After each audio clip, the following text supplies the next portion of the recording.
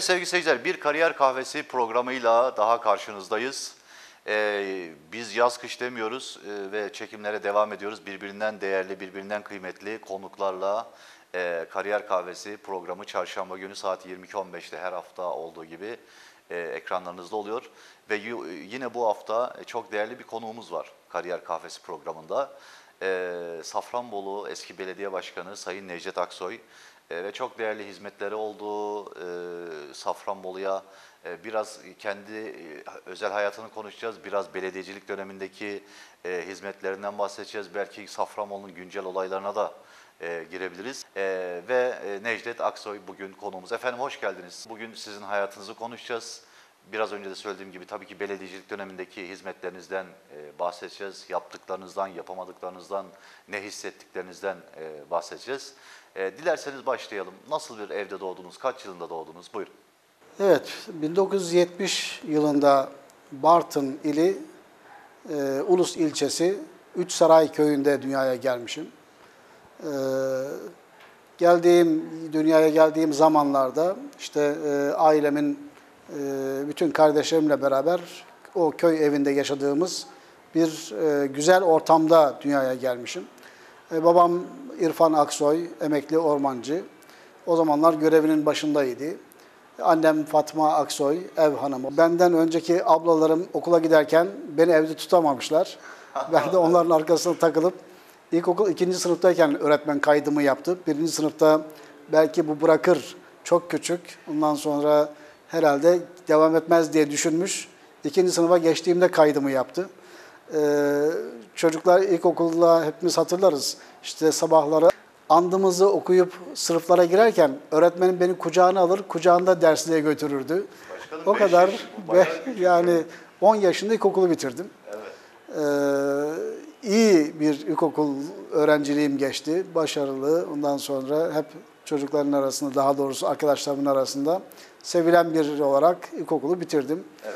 İlkokul bittikten sonra evet, bir sene kendi köyümde Kur'an kursuna gittim. Kur'an kursundaki hocam, e, Ramazan Tüfekçi hocam, e, Allah kendisinden razı olsun. Zaman zaman halini hatırını soruyorum. E, benim sonraki hayatıma yön verdi.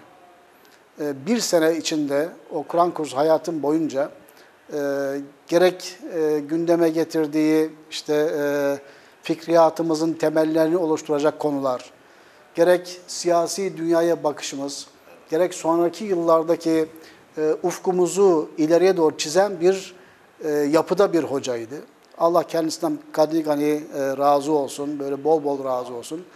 E, ben kendisini çok seviyorum. Şöyle özelliği vardı. E, kesinlikle İmam Hatip Lisesi okuyacaksınız ama imam olmayacaksınız. Gidip işte Türkiye'yi yönetecek kaymakamlar, işte belediye başkanları, efendim hakimler, savcılar, e, devlet yönetiminin üst kademelerinde rol alacak görevler üstleneceksiniz diye o yaşlarda daha bize bunları konuşurdu, anlatırdı. E, ben bir yıl e, onun bu güzel ufuk açan eğitiminden, eğitiminden geçtik. Sonrasında İmam Hatip Lisesi'ne tabii onun verdiği gazla diyeyim ya da böyle yönle Karabük İmam Hatip Lisesi'ne gelmek üzere, okumak üzere Karabük'e geldim. Orada da ilginç bir başlangıç var. Ee, tabii babam ormanda. Ee, köyümüzdeki diğer e, benim yaşıtlarım ortaokula başlamak üzere köyden gittiler. Ben Kur'an kursu için kaldım. Ee, bütün yaşıtlarım işte başka yerdeki okullarda okuyor. Oysa ben köyde kaldım. Beni son derece böyle e, muzdarip ediyordu bir yandan. E, ertesi sene okullar açıldı. Babam hala eve gelmedi. Ormandan gelmedi. E, bir gün sabah kalktım. İşte 11 yaşında bir çocuk. E, yürüyerek bizim köyden, işte Üçsaray köyünden Zafer köyüne yaklaşık 6 kilometre, 6,5 kilometrelik bir yol.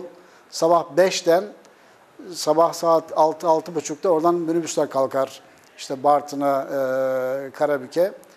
O minibüslere binmek için tek başıma yola çıktım. Evden kaçarak böyle. E, işte köydeki minibüsümüze bindim. İşte babamın çalıştığı yere kadar e, minibüslerle gittim. Baba beni okula yazdır. Ben dedim köyde kalmak istemiyorum. Mutlaka beni okula yazdır. Babam o günlük işte artık benim o evden firar etmemin üzerine e, getirdiği Karabük İmam Hatip Lisesi'ni birinci sınıfına kaydettirdi. Tabi o zaman Karabük'te büyük babam, o da ormancıydı. Soğuk Su Mahallesi'nde oturmaktaydı. Soğuk Su, Soğuk Su Mahallesi'nden Yenişehir'e kadar her gün yürüyerek gider gelirdik. E, Birinci sınıf e, öğrencisi olarak. İşte e, güzel bir birinci sınıf hayatı burada yaşadık. E, sonrasında e, tabii Soğuk Su'dan Yenişehir'e gidip gelmek, bir de büyük babamın evinde her ne kadar bizi sevgiyle büyütseler de nihayetinde e, anne baba gibi olmuyor. Parasız yatılı sınavlarını kazanarak Gerede'ye e, İmam Hatip Lisesi'ne gittik. Gerede'de 6 sene e, parasız yatılı olarak devletimizin imkanlarıyla e, bir lise hayatım geçti. Tabii Gerede'de Siz de karar verdiniz oraya gitmeye başladınız? devlet parasız yatılı sınavını kazandığım için en yakın devlet parasız yatılı okulu o zaman Gerede'de vardı. Tercihimizi direkt biz Gerede yaptık. Ee, Zonguldak'taydı sınav. Zonguldak'a işte sabahtan gittik, sınava girdik. Tekrar geriye geldik filan. Gerede İmam Hatip benim tercihim doğrultusunda ama başka seçenek yoktu. Tek yer orası vardı o zaman parasız yatılı. Ee, annenizden bahsettiniz, babanızdan bahsettiniz. Ee, kaç kardeştiniz? Siz kaçıncı kardeşsiniz, evin kaçıncı? Kardeştiniz. Siz kaçıncı kardeşsiniz, evin kaçıncı? Evet, e, sekiz kardeşiz. Bir kardeşimiz, en büyük kardeşimiz çok küçükken, 6 aylık iken e, vefat etmiş. Allah rahmet eylesin. E, geriye işte yedi kardeşin, e, ben yukarıdan aşağı beşinciyim. E, yani en yukarıdan aşağıya saydığımda beş kardeşim, beş ablam, abi, abim mevcut. Benden sonra da iki kardeşim daha mevcut. E, kalabalık bir aileyiz. Nasıl ev ev ortamında hatırlayabildiğiniz e, gerçekten eskiden genelde de böyle en az dört çocuktu yani. Evet. Şimdi bir en en fazla iki e, çocuk oluyor evde. E, ben de mesela kalabalık bir ailede büyüdüm. Hep kalabalık aileler e, güzeldir. O sofra muhabbetleri, akşam muhabbetleri. O çocukluğunuzla ilgili e, hatırlayabildiğiniz o neler var mı? Şöyle e, diyeyim, abim e, biz çok küçükken o da işte e, büyük babamın yanında okumak için evden ayrılmış. E, biz abimle çok fazla bir zaman maalesef geçiremedik küçüklüğümüzde. Ama onun haricinde diğer ablalarımla, diğer kardeşlerimle e, çok güzel vakitler geçirdik. E, Bizim köydeki evimiz gayet büyük. Ondan sonra herkesin hemen hemen rahat bir şekilde yaşayabileceği büyüklükte büyük klasik köy evlerinden birisiydi. İşte e, ama şu kısmını hiç unutmuyorum. Kışın e, hava soğuk olduğunda işte merdiven başında merdivenlerden yukarıya çıkarken arka taraftan bir böyle rüzgar eserdi. E, bacadan çıkardı. O kadar şey diyeyim yani ama o haliyle bile biz çok mutlu, çok güzel, ee, çok şükür elhamdülillah Rabbime binlerce şükürler olsun. Çok yokluk çekmediğimiz bir küçük çocukluğumuz geçti. Babanız nasıl bir babaydı? Babam zaman zaman işte eve gelir. Sürekli bizimle beraber değildi. Ee, ormancı olarak işte çalıştığı için başka yerlerde genellikle çalışırdı. İşte 10 günde, 15 günde bir, ayda bir anca bizim yanımıza gelirdi. Ama geldiğinde de e, mesela annem tarlada ise benim ve küçük kardeşimi e, söküklerini diker, e, saçlarımızı tıraş eder, bizi banyoya koyar, güzel önce kendisi yıkar, e, tertemiz pak giyindirir. Ondan sonra işte e, eve geçer otururdu. Bizimle çok böyle ilgili, çok yakinen ilgilenen, e, tertibimize, düzenimize, ondan sonra temizliğimize çok dikkat eden, çok hassas bir adamdı babam. E, akademik başarı dediğimiz okul hayatıyla ilgili çok fazla bir müdahalesi söz konusu olmadı babamın, benim üzerimde. Evet. İlkokul zaten e, öğretmenlerimin ve ablalarımın e, ışığında, onların direktifinde geçti. Ortaokulda da dediğim gibi Gere'de sonrasında, öncesinde işte Karabi Muhatip. Ama e, babamı şöyle özellikle e, anlatmak istiyorum. E, devlet memuru ama bir o kadar işte köy işleriyle uğraşmış zamanında ilgilenen, becerikli, e, bir inşaat ustası kadar inşaat bilen, mesela Safranbolu'da şu anda oturduğumuz baba evini kendi e, büyük bir kısmı kendisi yapmıştır. Taş duvarından işte e, sıvasına kadar. Ama bir o kadar da yönetici, bürokrat böyle devlet memuriyetine saygılı bir adamdı. E, bir gün bile e, rapor kullanmışlığı yoktur. İzinin haricinde, yasal izinlerin haricinde. Çok böyle vazifesine çok gayretli e, ve çok titiz bir adamdı. Temizliğine çok dikkat ederdi, giyim kuşamına çok dikkat ederdi. Küçükken de bizi aynı şekilde o titizliğiyle yetiştirdi. Bir anımı şöyle paylaşayım. Ee, bizi sünnet ettirmek için kardeşimle beraber bir hazırlık içerisine girmiş babam. Hatta bir koç almış, getirdi. İşte bizi sünnet ettirecek, koç kesecek. Bütün herkese işte ikramlarında bulunacak. Bir sünnetçiyle de anlaşmış. Ee, işte köye sünnetçi gelecek, babam da o esnada köyde olacak ve bizi sünnet edecekler filan. Ya babam unutuyor dediği günü ya da sünnetçi başka bir gün anlıyor. Sünnetçi çıktı geldi. Babam yok. İşte biz koça bakıyoruz filan. Dedi ki sünnetçi ben sizi sünnet edeceğim. Baban gelecek. Babam bana sünnet et dedi. Annem tarlada. Oo. Gittik kardeşimle beraber annemi çağırdık. Ee, sünnetçi bizi yatırdı evin önünde. Bizim o gelmişken de köydeki bütün çocukları herkes getirdi kendi çocuğunu. 8-10 kişiyi adam sıradan kesti geçti. bir iki gün sonra babam geldi. İşte baktı herkes işte sünnetli, üzün emtarı elbiselerle filan. Ee, ne oldu? İşte dedi ki annem sünnetçi göndermişsin geldi kesti gitti. Dedi ya ben öyle dememiştim ona. İşte biz böyle böyle işte Hakikaten koç çok kesecektik filan. O zaman telefonlar yok, cep Yani yok. Evet. böyle bir işte şey anımız da var küçüklükteki. Ee, ama nihayetinde e, Allah razı olsun babam bize hiç yokluk çektirmeden e, bir hayat yaşattı. Bir de e, biz yukarıdan aşağıya biraz küçük olduğumuz için bizim önümüzde büyük ablalarımız falan olduğu için çok ilgilendiler. Yani e, hayatın büyük yükünü onlar çekti. Biz onların gölgesinde e, yaşadık. Kardeşleriniz nerede şu anda başkanım? Çoğu Safranbolu'da. Çoğu Safranbolu'da, bir kardeşim işte e, Kıbrıs'ta ablam yaşıyor. E, diğerleri hepsi Karabük, Safranbolu civarında işleri güçleri içerisindeler. Anneniz peki başkanım? Annem e, rahmetli oldu işte 2013 senesinde. E, klasik e, Anadolu kadını, Çilekeş. çilekeş. Evet. Ee, ama iki üç sözü var. Mesela e, oğlum derdi, çalıyı üzerinden atlayacağım diye uğraşma. Etrafından dolaş. Üzerinden atlarsan bacağına takılır, sen de düşersin.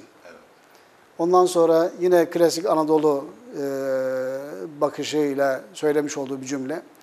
Pislik derdi, e, taze ise üzerine basma. Paçanı kirletirsin. Başka bir şeye yaramaz. Etrafından dolaş oğlum derdi, uğraşma. Yani şeyde e, böyle e, o e, belaların falan üzerine geçme. Bezaları, belalara takılmadan yanından geçmeye çalış. Evet. Çok önemli nasihat. Böyle güzel cümleleri vardı.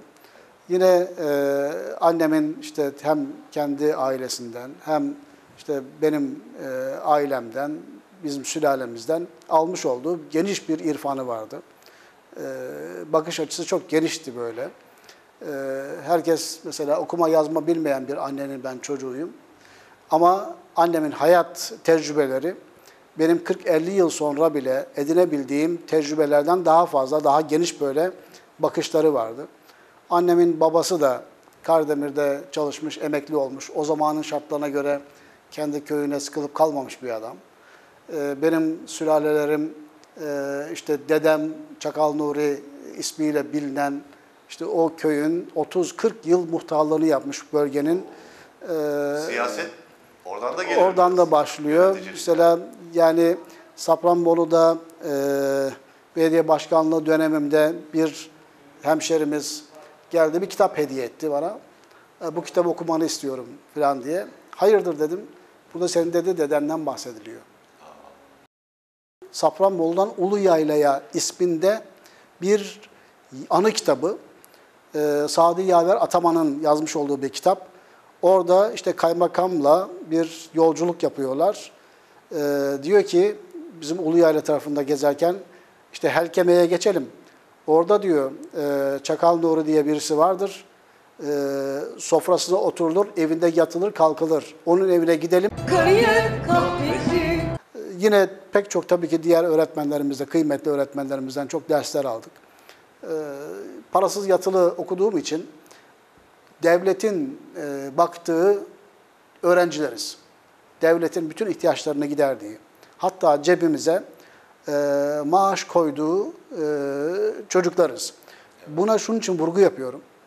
E, ben bugün geldiğim noktada eğer devletime e, bir özveride bulunmam gerekiyorsa, devletim için bir şey yapmam gerekiyorsa, bunu sadece e, Türk devletinin bir evladı olarak değil, geçmişte bu devlet bana karnımı doyurmuş, üzerime giydirmiş, lisesini okutmuş, e, cebime harçlık koymuş birisi olarak, e, borçlu olarak bakıyorum devletime.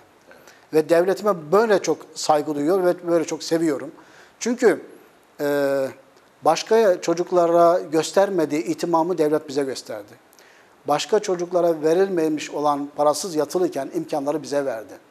O kıt imkanların, devletin imkanlarından e, pek çok arkadaşımız mesela parasız yatılıda okurken e, işte zeytin niye çürük, efendim niye sürekli bu yemek çıkıyor şeklinde eleştiriler yaparken ben o zaman bile arkadaşlarıma derdim. Yani bu devlet bize bunları bedava veriyor. Sizin bu devlete ne katkınız var ki bu verilen nimete bir de eleştirsel bakıyorsunuz diye bazen eleş şey yapardım böyle sert çıkardım. Çünkü hakikaten borçluyum bu devlete. Ömrümüzün sonuna kadar devletimize e, yani parasız çalışacaksın deseler gider çalışırım. Çünkü bizim bu devletten benim şahsi olarak bu devlete borcum var. Ödemem gereken bir vefa borcumun ötesinde maddi borcum da var. Yani onu da ödemem lazım diye bakıyorum. Ve bu şekilde bu Vefa bakışla evet. e, Demokrat Lisesi'nde bu e, imkanları devlet bize sağladı. Çok şükür e, bu gibi güzel hocaların sayesinde de e, üniversiteyi iyi bir dereceyle kazandım. E, bu duyguyla baktığım için de derslerime üstün gayret gösterirdim. E, lisedeyken mesela pek çok çocuk işte dışarıya çıkıp gezip dolaşırken ben ders çalışır. E, yaz e, tatillerinde Safranbolu'ya geldiğimde babam hemen bizi e, ormana çıkartır. Ormanda yanında çalışırdık. E, o zaman ormancı olarak mesa işleri vardı. Ormanlarda köylülerimizin işte tomruk üretmek ile ilgili yaptığı işleri biz de ölçerdik. Onları işte devletin e, kayıtlarına geçirirdik yapılan işlemleri. O işlerde çalışırdık.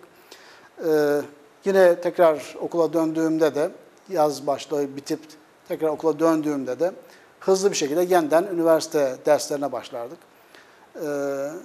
Hiç dershaneye gitmemiş, dershane yüzü görmemiş. Dershane o zaman Karabük'te, Safranbolu'da belki vardı ama Gere'de de yoktu. Biz e, ancak e, üniversite hazırlık fasikülleri, dergiler şeklinde dergiler bizden büyük abilerimiz alacak, almışlardı. İşte çözmüşler vesaire. Onlar önce siler üzerindeki çözülmüş yerleri. Onları biz çalışır, sonraki bizimden sonraki çocuklara biz de bırakırdık kütüphaneden. Bu şekliyle işte o zaman alınabilecek en iyi puanlardan birisini aldım. Ee, üniversiteye e, geçmek için de, üniversite okumak için de Konya'yı tercih ettim. Niye Konya diye soracak olursanız da. niye Konya Başkanım? Şimdi üniversite, lisede okurken bizden ön- önce üniversiteye gitmiş olan arkadaşlarımız, abilerimizi ziyarete gittik. Bunlardan bir tanesi de e, Trabzon ismiyle bugün işte e, Bolu İl Tarım Müdür Yardımcısı Abdülkadir abi vardı. Onları ziyarete gittik. Onlar Konya'da okuyorlardı. E, bana Konya'yı öyle güzel anlattı, öyle çok sevdirdi ki işte e, Konya şöyle güzel, böyle güzel. Ben Konya'da üniversite okumak istedim. Yani almış olduğum puan İstanbul'a da yetiyor, Ankara'ya da yetiyor. Ondan sonra pek çok büyük illere yetiyordu. Ben buna rağmen Konya'yı ilk tercih olarak yaptım. Konya Kamu Yönetimi. Niyetim kaymakam olacağız. Bu şehirde işte kendi ülkemize kaymakam olarak hizmet edeceğiz.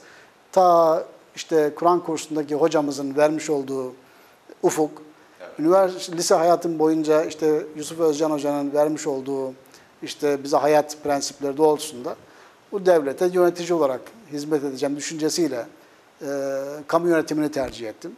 İlk tercihime yerleştim. Pişman oldunuz mu başkanım? Ee, hukuk fakültesi olabilirdi. Ki bu uhde kalmış. Şu anda hukuk fakültesi okumak için e, adalet bölümünü bitirdim. İki yıllık açık öğretim adalet bölümünü bir senede bitirdim. Dikey geçiş sınavlarına hazırlanıyorum şu anda. Tekrar hukuk fakültesi okuyacağım. Bu da ilginç. Yani oraya doğru da şeyim var. Yani dediğim gibi e, belki İstanbul siyasal olabilirdi. Ankara siyasal çok tercih etmiyordum. O zaman hala da belki tercih etmiyorum ama İstanbul siyasal o zamandan olabilirdi. Şöyle, o da İstanbul'u bugün tanıdığım için, İstanbul'u bugün çok severim. İstanbul e, hem payitahtın merkezi hem e, Türkiye'de e, düşünce ikliminin de merkezidir. E, ve işte e, ilk vardığımızda da Hak Yol Vakfı'nın işte Konya'daki yurduna o zaman gittik, yerleştik hep beraber. E, o yurtta bir sene kaldık.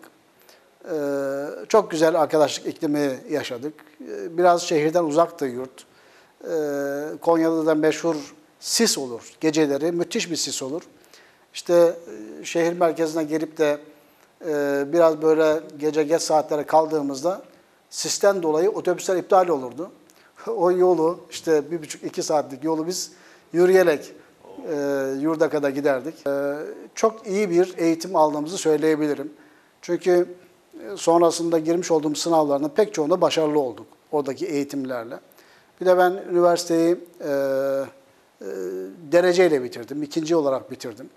Güzel bir iklim yaşadım. Üniversite hayatım boyunca sadece bir kere bütünlemeye kaldım. O da herkesin geçtiği personel yönetimi diye bir ders. Ee, nispeten daha kolay bir dersti. Herkes geçti.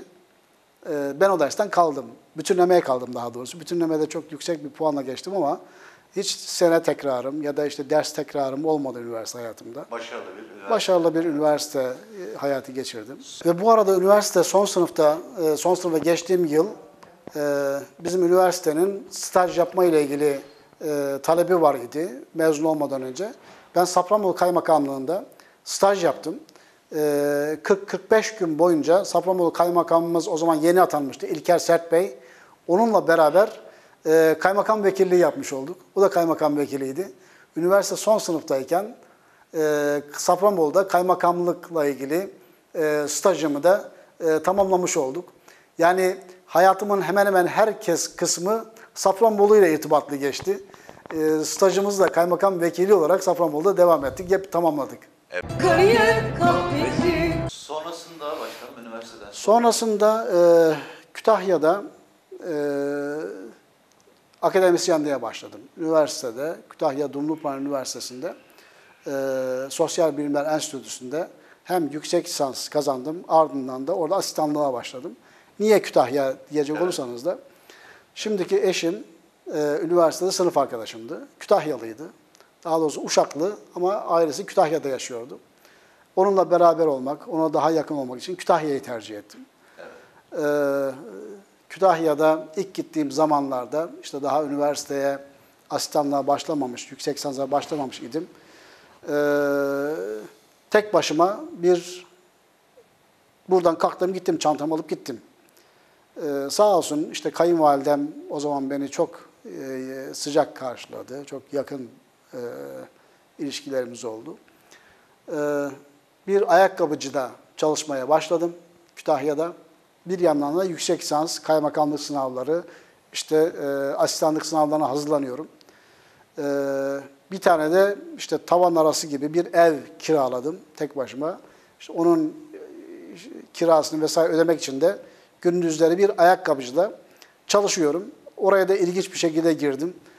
Ee, şimdi gittim Kütahya'ya. Hiç kimseyi tanımıyorum. O zaman Milli Gençlik Vakfı üyesiyim. Milli Gençlik Vakfı kartı da yanımda var. Yine Refah Partisi'ne kadar gittim. Refah Partisi il başkanına dedim ki ben Safranbolu'dan geldim. Kütahya'da üniversitede işte asistan olmak istiyorum. Yüksek lisans yapmak istiyorum. Bana barınacak bir yer bul.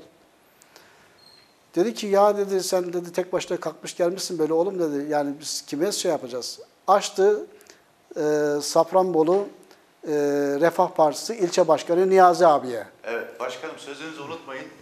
Kahvemiz geldi. Ee, sizin kariyerinizi konuşurken de Kariyer kahvemizi de e, Çok teşekkür içelim. ederim. Hatice Hanım'a da çok teşekkür ediyoruz. Çok teşekkürler. Elinize sağlık. E, başkanım. İnşallah teşekkür ederiz. Ee, Evet. Şimdi Refah Partisi'nin üst katında bir misafirhanesi. Misafirhane dediğim de tek oda bir han içerisinde. Ee, hanın tuvaleti, banyosu. Orada bir tane oda, işte ranza var. Burada yatabilirsin dedi. Çantayı koydum oraya. Şimdi dedim kendi kendime çantayla muhabbet ediyorum. Diyorum ki yani başımızı sokacak bir yer bulduk. Şimdi karnımı doyuracak bir iş bakalım. Karnımızı doyuracak bir şey bakalım. Üniversiteyi bitirmişim. E, dereceyle bitirmişim. İyi bir e, üniversite eğitimi almışım. Çıktım baktım bir işte ayakkabıcı İsmail Yabancı ismi esnafımızın. İsmail abiye dedim ki ben dedim burada çalışmak istiyorum. Dedim ilanınız var kapının önünde. E, dedi ki ben dedi işte e, canım sıkıldığında ensesine tokat atabileceğim daha küçük birisini arıyorum. Sen dedi kocaman adamsın. Ondan sonra açtım enseyi. Bundan dedim daha güzel enseyi nerede bulacaksın? Al sana ense dedim. Sağ olsun İsmail abi de işte beğendi. E, bizi oraya aldı. Çalışmaya başladık. İki tane dükkanı vardı. Aradan bir iki ay geçer geçmez bana ikinci dükkanı emanet etti. E, Bu dükkanı senin istediğin gibi işte e, bu dükkanı çalıştır şeklinde. Başkan olduktan sonra, belediye başkanı olduktan sonra falan görüştünüz mü? Görüştüm. İsmail abiye gider gelirdim. İşte Kütahya'dan da işte kayınvalidem, kayınpederim orada olduğu için onlara da uğrardım. İsmail abiyi unutmam mümkün değil. Güzel bir abiydi o da. Da Refah Partisi yönetimindeydi. İşte daha sonra belediyenin, Kütahya Belediyesi'nin bir şirketinde genel müdürlükten falan yaptı. Ee, orada çalışmaya başladık. Tabii gündüzler orada çalışıyorum. İşte akşamları evde kalıyorum. Baktım biraz daha boş vaktim var. Sokakta gezerken Kütahya'da e, baktım bir otelin e, resepsiyonisti, gece resepsiyonisti aranıyor yazıyor. İkinci iş olarak ona girdim. Dedim geceleri uyumayayım, ders çalışayım. Hiç olmaz hem burada dedim resepsiyonda dururum. E, zaten dedim çok yatmıyorum. İşte e, belli bir vakite kadar da orada ders çalışmak için resepsiyonda da görev yapmaya başladım. İki işte aynı anda çalışmaya başladım. Sonrasında da işte Kütahya'da asistanlığı da kazandık. Ee, Kütahya'da şöyle bir yapı vardı o zamanlar. Her ilçede yüksek okul vardı. Ee, mesela Kütahya Üniversitesi'nin merkezde üniversite kampüsü ama her ilçesinde de işte meslek yüksek okulları vardı. O zamanki rektör Ömer Bey böyle bir karar almış. Bütün ilçelere yüksek okul yapmışlar. Dolayısıyla her ilçedeki o yüksek okula hoca lazım. Biz asistanız. Normalde vazifemiz işte şey değil ama bizi öğretim görevlisi olarak aldılar ve ilçelere ders vermeye gidiyoruz. Ee, komik tabii şeyler de oluyor. Hisarcık diye bir ilçesi var Kütahya'nın. İşte Emet'ten sonra 3-4 kilometre daha ileride. Emet biraz daha gelişmişti o zaman. İşte günlük otobüs seferleri var Kütahya'dan. Ama Hisarcık'a hiçbir şey yok. Ee, Emet Kaymakamı e, Muhammed Oduncu Bey şu anda merkez valisi galiba zannediyorum. Daha önceleri işte e, Osmaniye valiliği falan yaptı. Ee, bizim yüksek lisanslarında sınıf arkadaşımız. Aynı yüksek lisansla da ders alıyoruz aynı zamanda Kütahya'da. Ben işte Emet'e gider, Emet'te de yüksekokulda dersim verir. Oradan Hisarcık'a geçerdim. Geçerken de kaymakamın arabasıyla e, beni bıraktırırdı oradan. Bir gün vardım Kütahya, Emet'e. İşte Kütahya, Emet'teki dersimizi yaptık. Gittim kaymakamlığa. O dediler Kütahya'da toplantıya gitti. Şimdi Hisarcık'a geçilecek. Nasıl geçeceğiz? Hiçbir Araç vasıta yok. Evet. Yürüyerek gitmeye başladım. Elimde çantam. İşte arkadan bir traktör geliyordu. Traktöre el ettim, durdu, aldı beni traktöre. Traktörün o tekerin üzerine oturduk. Derse, Emet'e var, şey, Hisarcık'a derse vardık. Hisarcık'ta işte tabii 3000, 2000 nüfuslu ilçeler bunlar. Belki daha küçük. Evet. Ee, öğrenciler de buna göre öğrenciler. Yani e, işte e, o zaman şartlarda üniversiteyi kazanmış, yüksekokulu kazanmış. Hiç unutmuyorum.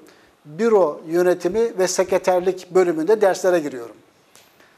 Ee, hem o zaman daha tıfılım böyle işte boy moy fakir bizim malum. Ee, daha zayıf. Derse girdim. Kimse bizi dinlemiyor üniversite öğrencileri. Evet. İşte masaya bir vurdum. Bir dakika dedim ya kapatın kitaplar defterleri. Ya ben dedim buraya Bakın bugün bu okulda size ders vermek için traktörün üstünde geldim. Üniversite hocasıyız ama traktörün üstünde üniversitedeki çocuklara ders vermeye geldim. Siz de burada beni dinlemiyorsunuz. Hadi dedim bu erkeklerin amacı askerden kaçmak. 2-3 sene askerden uzak kalmak. Ve kızım dedim bir tanesine. Siz dedim niye burayı tercih ettiniz? Üniversite okuyacaksanız dedim mesela gidin başka yerlerde daha büyük yerlerde okuyun. Burada dedim tek sosyal alan olan kahve, kahveye gitseniz dedim. Oradaki muhabbet şudur. Benim koç bugün var ya şu kişinin koçunu şöyle süslü böyle süslü. Benim dana bugün işte şöyle yaptı. Muhabbet budur da burada dedim. Yani üniversite eğitim burada olmaz ki. Siz niye burayı tercih ettiniz? O zaman kız çocuğu demişti ki bana. Bize niye öyle diyorsun hocam siz dedi. Ana baba baskısından dedi. iki sene uzak kalmak için biz burayı tercih ettik. Evden gidelim de nereye olsa olsun diyerek tercih ettik. Bu cümle sonraki hayatım boyunca hiç unutmadığım bir cümledir. Yani e, o zaman bile mesela kaç yılındaydı? 93-94 yıllarından bahsediyoruz. O zaman üniversite öğrencilerinin bile böyle bir bakışları vardı. Ee, yine e, kendi üniversite hayatımda okurken de mesela bir Zonguldaklı e, hemşerimiz vardı. Bizim o zaman Zonguldak'a bağlıydık malum. Daha Karabük il olmamış. Ee, Fen Edebiyat Fakültesi ile biz aynı binadaydık Konya'da üniversite okurken. Arap Dili ve Edebiyatı bölümünde okuyordu kız. Ama çok güzel bir kızdı. Fiziği mükemmel. Yemyeşil gözler, sapsarı saçlar falan. Hemşerim dedim yani siz sen nasıl burayı tercih ettin? Yani Arap dili ve edebiyatı. Sana dedim hiç yakışmamış. Yani sen bambaşka böyle bir İngiliz dili edebiyatı ya da Alman dili edebiyatı olsa da diyeceğim de dedim. Ya ben dedi üniversiteye dedi bu kadar puan aldım. En düşük nereye yerleşebilirim diye baktım. Burası dedi Arap dilini istiyor benim puanım. Ben ona göre yerleştim buraya. Dedim yani okuyup da ne yapacaksın sen burada? Yani ben üniversite okuyuncaya kadar dedi, üniversite mezunu oluncaya kadar zengin birisini bulup dedi evleneceğim dedi. İyi bir yerde dedi. Hakikaten dediğini de yaptı. O zaman Konya'nın en meşhur pastanelerinden birisinin sahibinin oğluyla evlendi. Mutlu bir hayatı vardı o zaman. Herkes de okumaya gidiyor. Herkes yani böyle güzellikler de üniversite hayatında vardı. İşte o Kütahya'da da o cümleyi hiç unutamam.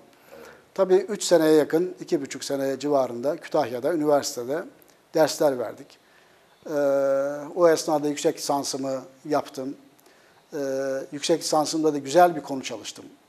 Ee, üniversitede hocam Profesör Doktor Ahmet Akgündüz Hoca. Ee, hakikaten çok gayretli. Ee, Türkiye'nin şartlarını çok iyi bilen e, bir hocaydı. Kendisinden Allah bin kere razı olsun. Dua ediyorum kendisine. Asistanlığı aldı, sonrasında doktoraya yerleştirdi. Doktoradan sonra e, bizi bırakmadı. Sürekli irtibatta olduğum, hala e, zaman zaman görüştüğüm bir hocam. E, şöyle bir cümlesi vardı mesela. Yüksek lisans yapıyoruz. Yüksek lisans tezimizi biz 8 ayda yazdık. Normalde 2 sene civarında falan bir sürer bir tez yazımı. Biz 8 ayda bitirdik. Derdi ki buralarda fazla takılmayın. Buralarda siz bilim e, öğrenmenin yolunu öğreniyorsunuz. Bilim nasıl öğrenilir? Onun yolunu öğreniyorsunuz şu anda. Yani bilimi öğrenmiyorsunuz. Bilim öğrenmenin yolunu öğreniyorsunuz. Nasıl bilim öğrenebilirsin? Nasıl deta, e, detaya inebilirim? Siz şu anda bunu öğreniyorsunuz. Dolayısıyla derdi buralarda fazla takılmayın. Buralarda fazla oyalanmadan, zamanı fazla harcamadan hemen hemen geçin. İşte doktoraya, doçentliğe, oraya doğru hızlı bir şekilde geçin diye. Bize 8 ayda doktora, işte yüksek lisans tezini yazdırdı. Ne güzel bir bakış açısı. Ee, yüksek lisansta da mesela e, güzel hocalardan dersler aldım. Yavuz Atar Hoca'yı hatırlıyorum. Ee, şimdiki anayasanın mimarıdır aynı zamanda. Bu anayasa e, başkanlık sistemi e, yazılırken, anayasa yazarken Yavuz Hoca e, başkanıydı grubun. Yine Erdinç Hocam o zamanlar çok güzel bir şekilde bizlerle ilgili hukuk açısından ben radyo, televizyon ve iletişim hukuku üzerine yüksek lisans yaptım. E, ve bugünkü radyo, televizyon üst kurulu yeni kurulmuştu o zaman. Ve o kurulun çalışmalarını incelediğim bir yüksek lisans tezi oldu. Güzel de bir konu seçmişim. Yani hepsi bunlar Ahmet Akgündüz Hoca sayesinde oldu. E, o zaman RETÜK e, yeni kurulmuş. İşte şekli şemali ortaya çıkıyor, çalışma yönleri ortaya çıkıyor. Melih Gökçek'le o vesileyle tanıştım. Melih Bey milletvekiliydi ve bu komisyonda da önemli görevler, o Radyo Televizyon Üst Kurulu kurulurken bir komisyon şeysinde önemli görevler üstlenmiş. Onunla beraber birebir bir çalışmalar ya o zaman yaptık. Ne, nasıl olduğunu. İngiltere'deki o radyo televizyon e, sistemini bize o zaman anlatmıştı. BBC'nin BBC hem devlet televizyonudur İngiltere'de. Aynı zamanda da diğer e, televizyonların üzerinde de bir etik e, görevi, işte ahlakla ilgili, o yayınlarının ilkeleriyle ilgili görevler de vardır BBC'nin. E, bu sistemi orada anlatmıştı. Müzik Gökçek'te de orada tanıştınız. evet. Evet başkanım kahvemizi soğutmayalım. Bu arada sizin kariyerinizi konuşuyoruz. Kariyer kahvemizi de yudumlayalım. Afiyet olsun. Yine Salih Kapusuz o zaman vardı. Salih Kapusuz Bey de daha sonra işte e, Kayseri'de önemli görevler üstlendi filan.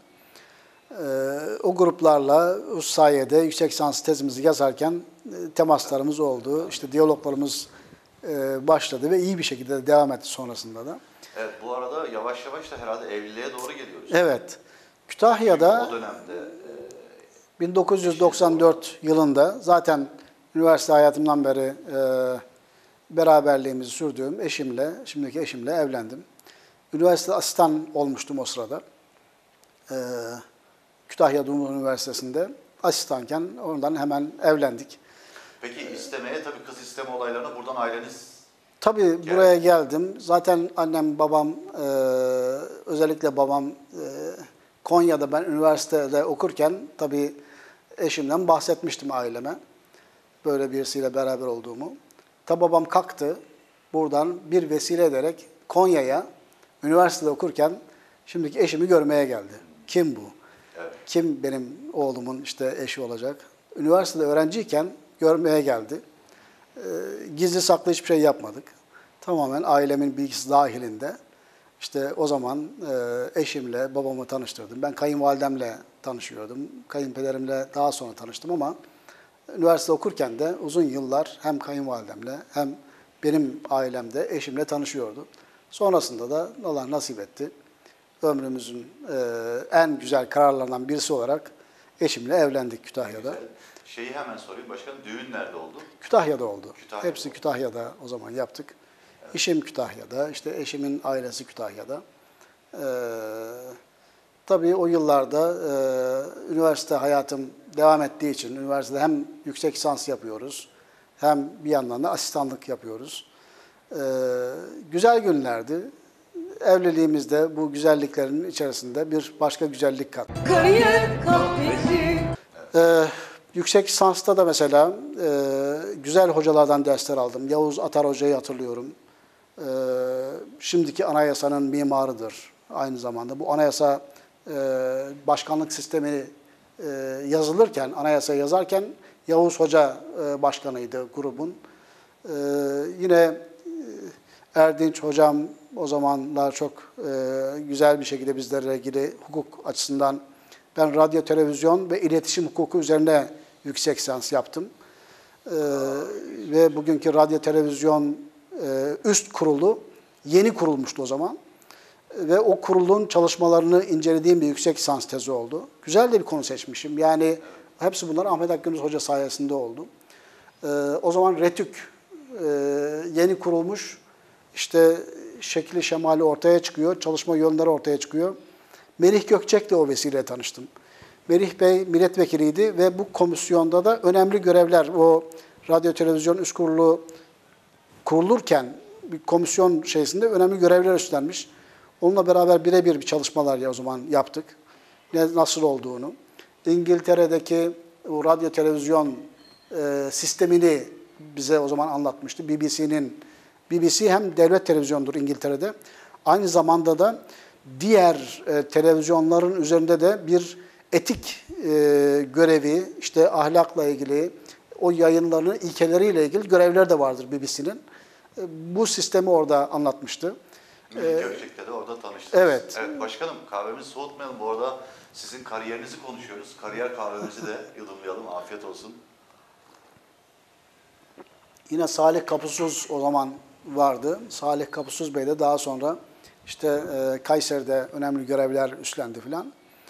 E, o gruplarla o sayede yüksek lisans tezimizi yazarken e, temaslarımız oldu. İşte diyaloglarımız e, başladı ve iyi bir şekilde de devam etti sonrasında da. Evet bu arada yavaş yavaş da herhalde evliliğe doğru geliyoruz. Evet. Kütahya'da O dönemde e, 1994 yılında zaten üniversite hayatımdan beri e, beraberliğimizi sürdüğüm eşimle, şimdiki eşimle evlendim. Üniversite asistan olmuştum o sırada. E, Kütahya Dumluvik Üniversitesi'nde asistanken ondan hemen evlendik. peki istemeye tabii kız isteme olaylarına buradan aileniz Tabii buraya geldim. Zaten annem, babam, e, özellikle babam e, Konya'da ben üniversitede okurken tabii eşimden bahsetmiştim aileme. Böyle birisiyle beraber olduğumu. Tabii babam kalktı. Buradan bir vesile ederek Konya'ya üniversitede okurken şimdiki eşimi görmeye geldi. Kim bu? Kim benim oğlumun işte eşi olacak? Üniversitede öğrenciyken görmeye geldi. Ee, gizli saklı hiçbir şey yapmadık. Tamamen ailemin bilgisi dahilinde. İşte o zaman e, eşimle babamı tanıştırdım. Ben kayınvalidemle tanışıyordum. Kayınpederimle daha sonra tanıştım ama üniversite okurken de uzun yıllar hem kayınvalidemle hem benim ailemde eşimle tanışıyordu. Sonrasında da Allah nasip etti. Ömrümüzün e, en güzel kararlarından birisi olarak eşimle evlendik Kütahya'da. Şeyi hemen sorayım başkanım düğün nerede oldu? Kütahya'da oldu. Kütahya'da Hepsi oldu. Kütahya'da o zaman yaptık. İşim Kütahya'da, işte eşimin ailesi Kütahya'da. Ee, tabii o yıllarda e, üniversite hayatım devam ettiği için, üniversitede hem yüksek lisans yapıyoruz, hem bir yandan da asistanlık yapıyoruz. Ee, güzel günlerdi. Evliliğimizde bu güzelliklerin içerisinde bir başka güzellik kattı. Evet. Ee, eşim daha sonra işte e, İstanbul'a gittiğimizde öğretmenliğe başladı. Sağ olsun Sayın Necmettin Erbakan hükümet kurduğunda e, 4 yıllık fakülte mezunlarının her birini e, arzu ettikleri takdirde öğretmenliğe başvuranların arasından öğretmen olarak atadılar. E şimdi o şeyde e, imkanlar çerçevesinde ilkokul öğretmeni olarak başladı İstanbul'da. Halen Halen aynı görev devam ediyor. Ee, Şimdi Safranbolu'da devam ediyor. Evet.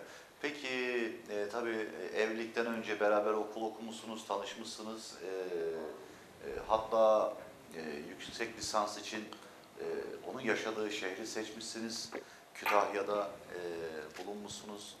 E, eşinizle ilgili birkaç cümle duymak isteriz. Şöyle eşim çok e, medyayı ön plana geçmeyi sevmeyen, e, öğretmenlik mesleğini de hakikaten iyi bir şekilde yapan bir hanımefendi. E, çocuklarımın annesi. Onun e, iki tane dünyası var. Bir okuldaki öğretmenleriyle ilgili, çocuklarla ilgili eğitim camiası içerisinde bulunduğu dünyası. Bir de ailesi. Yani bizler. Ee, bu ikisini en güzeliyle yapan ama daha sonrasındaki diğer yönlere çok fazla girmeyen, mesela belediye başkanı döneminde de e, başka belediye başkanları eşleri gibi, e, ben bunu e, eleştirisel manada söylemiyorum. Belki de olması gereken şey bu. Mesela İstanbul'da ya da efendim başka büyük şehirlerde, başka belediye başkanlarının, hanımlarının belediye yönetimlerinde önemli görevler üstlendiklerini görüyorum.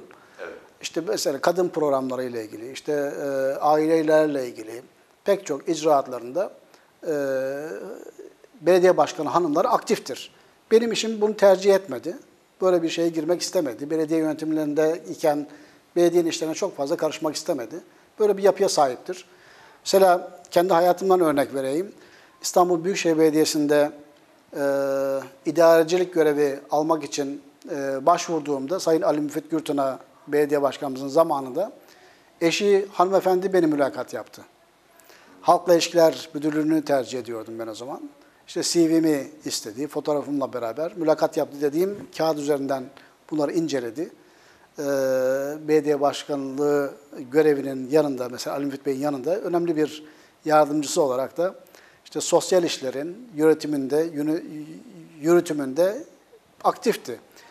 Aynı şekilde diğer belediye başkanı hanımlarını da, şimdiki belediye başkanı hanımını da görüyorum. Ee, belediyelerde aktiftirler belediye başkanı hanımları ama benim eşim e, bunları çok fazla tercih etmedi. Evet. Onun e, ilgilenmek zorunda olduğu ailesi ve kendi öğretmenlik görevi e, daha ön planda. Bunlara daha çok dikkat eder. Evet, Onları yaptı. Tabii ki, Selamlarımızı, saygılarımızı iletelim. Evet başkanım. Tabii ki e, herkesin bir bireysel tercih Tabii ki, e, kesinlikle. Şeyi var. E, biz ben belediye başkanı olarak da ailemi e, çok fazla belediye ile ilgili işlere bulaştırmamaya, yanaştırmamaya gayret ettim. Mesela babam günlük belki gelir belediye ama bir kahvemi içer, e, fazla şey yapmadan ayrılırdı. Yine ailemin diğer bireyleri de hemen hemen hiç belediyeye uğramazlardı. Belediye işlerine hiç onları e, sadece bilgi amaçlı konuşur geçerdik ama müdahale anlamında belediye işlerine hiçbirisi müdahale etmemişlerdir. Anladım, anladım başkanım. Çünkü e, yani liyakat konusunda belki de hak ettiği bir görev bile olsa e, dışarıdan bakıldığı zaman e, ön yargıyla yaklaşılabiliyor. Kesinlikle. Onun için bu şeyde eşim biraz daha böyle e, geriye geride kalmayı tercih eder. E, böyle bir e, şeyi var. Evet, Onun başkanım. babası da polis memuruydu, emekli polis memuru. İşte ailesi Banazlı olup Kütahya'ya yerleşmiş e, durumdalar. E, kayınpederim, kayınvalidem ikisi rahmetli oldular. Allah. Ee, Şimdi bir kayınbiraderim Kütahya'da, o da avukat olarak devam ediyor. Bir baldızım da e, Bolu'da İl Tarım Müdürlüğü'nde e, tekniker olarak çalışıyor. Evet, hepsine selam olsun. Ve aleyküm selam. Evet, evet başkanım, e, düğünü Kütahya'da yaptınız. Evet, sonrasında e, Kütahya'da e, rektör değişti. 28 Şubat süreci malum başladı. E, benim hocam başta olmak üzere pek çok e, üniversitede beraber görev yaptığımız arkadaşlarla üniversite ilişkisini kopartmak istedi. Bizim sözleşmelerimizi yenilemediler. e, Ahmet Akgündüz Hoca'nın asistanları olduğumuz için diyeyim.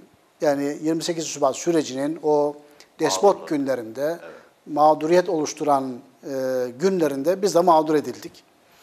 E, mecburen Kütahya'daki üniversiteden ayrıldık. O sırada e, Sakarya Üniversitesi'nde de doktora yapmaya başlamış idik.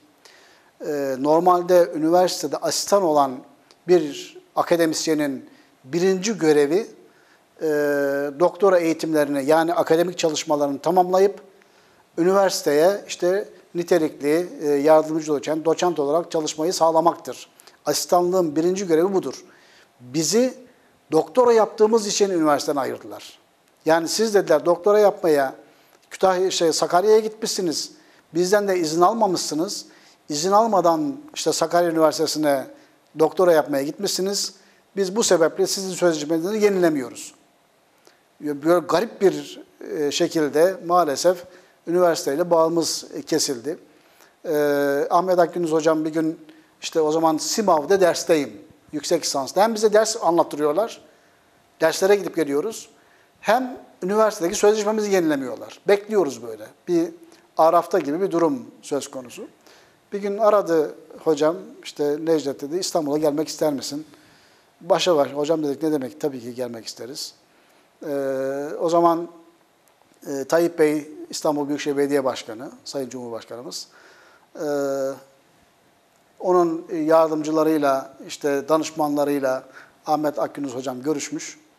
Ee, bize gel dedi. Biz de çıktık yallah İstanbul'a, Kütahya'dan kalkıp geçtik. Böylelikle İstanbul macerası başladı. Ee, iyi ki de öyle olmuş. Tabii kader böyle yazılınca insana sadece e, bilmediği bir yolculuğa e, aynı karanlıkta yürüyen bir insan gibi çıkmak düşüyor. Ee, Cenab-ı Allah böyle bir kader e, bize yazmış. Ee, İstanbul'a geçtik. İstanbul'da ilk başladığımda e, beyaz masa koordinatör olarak başladım.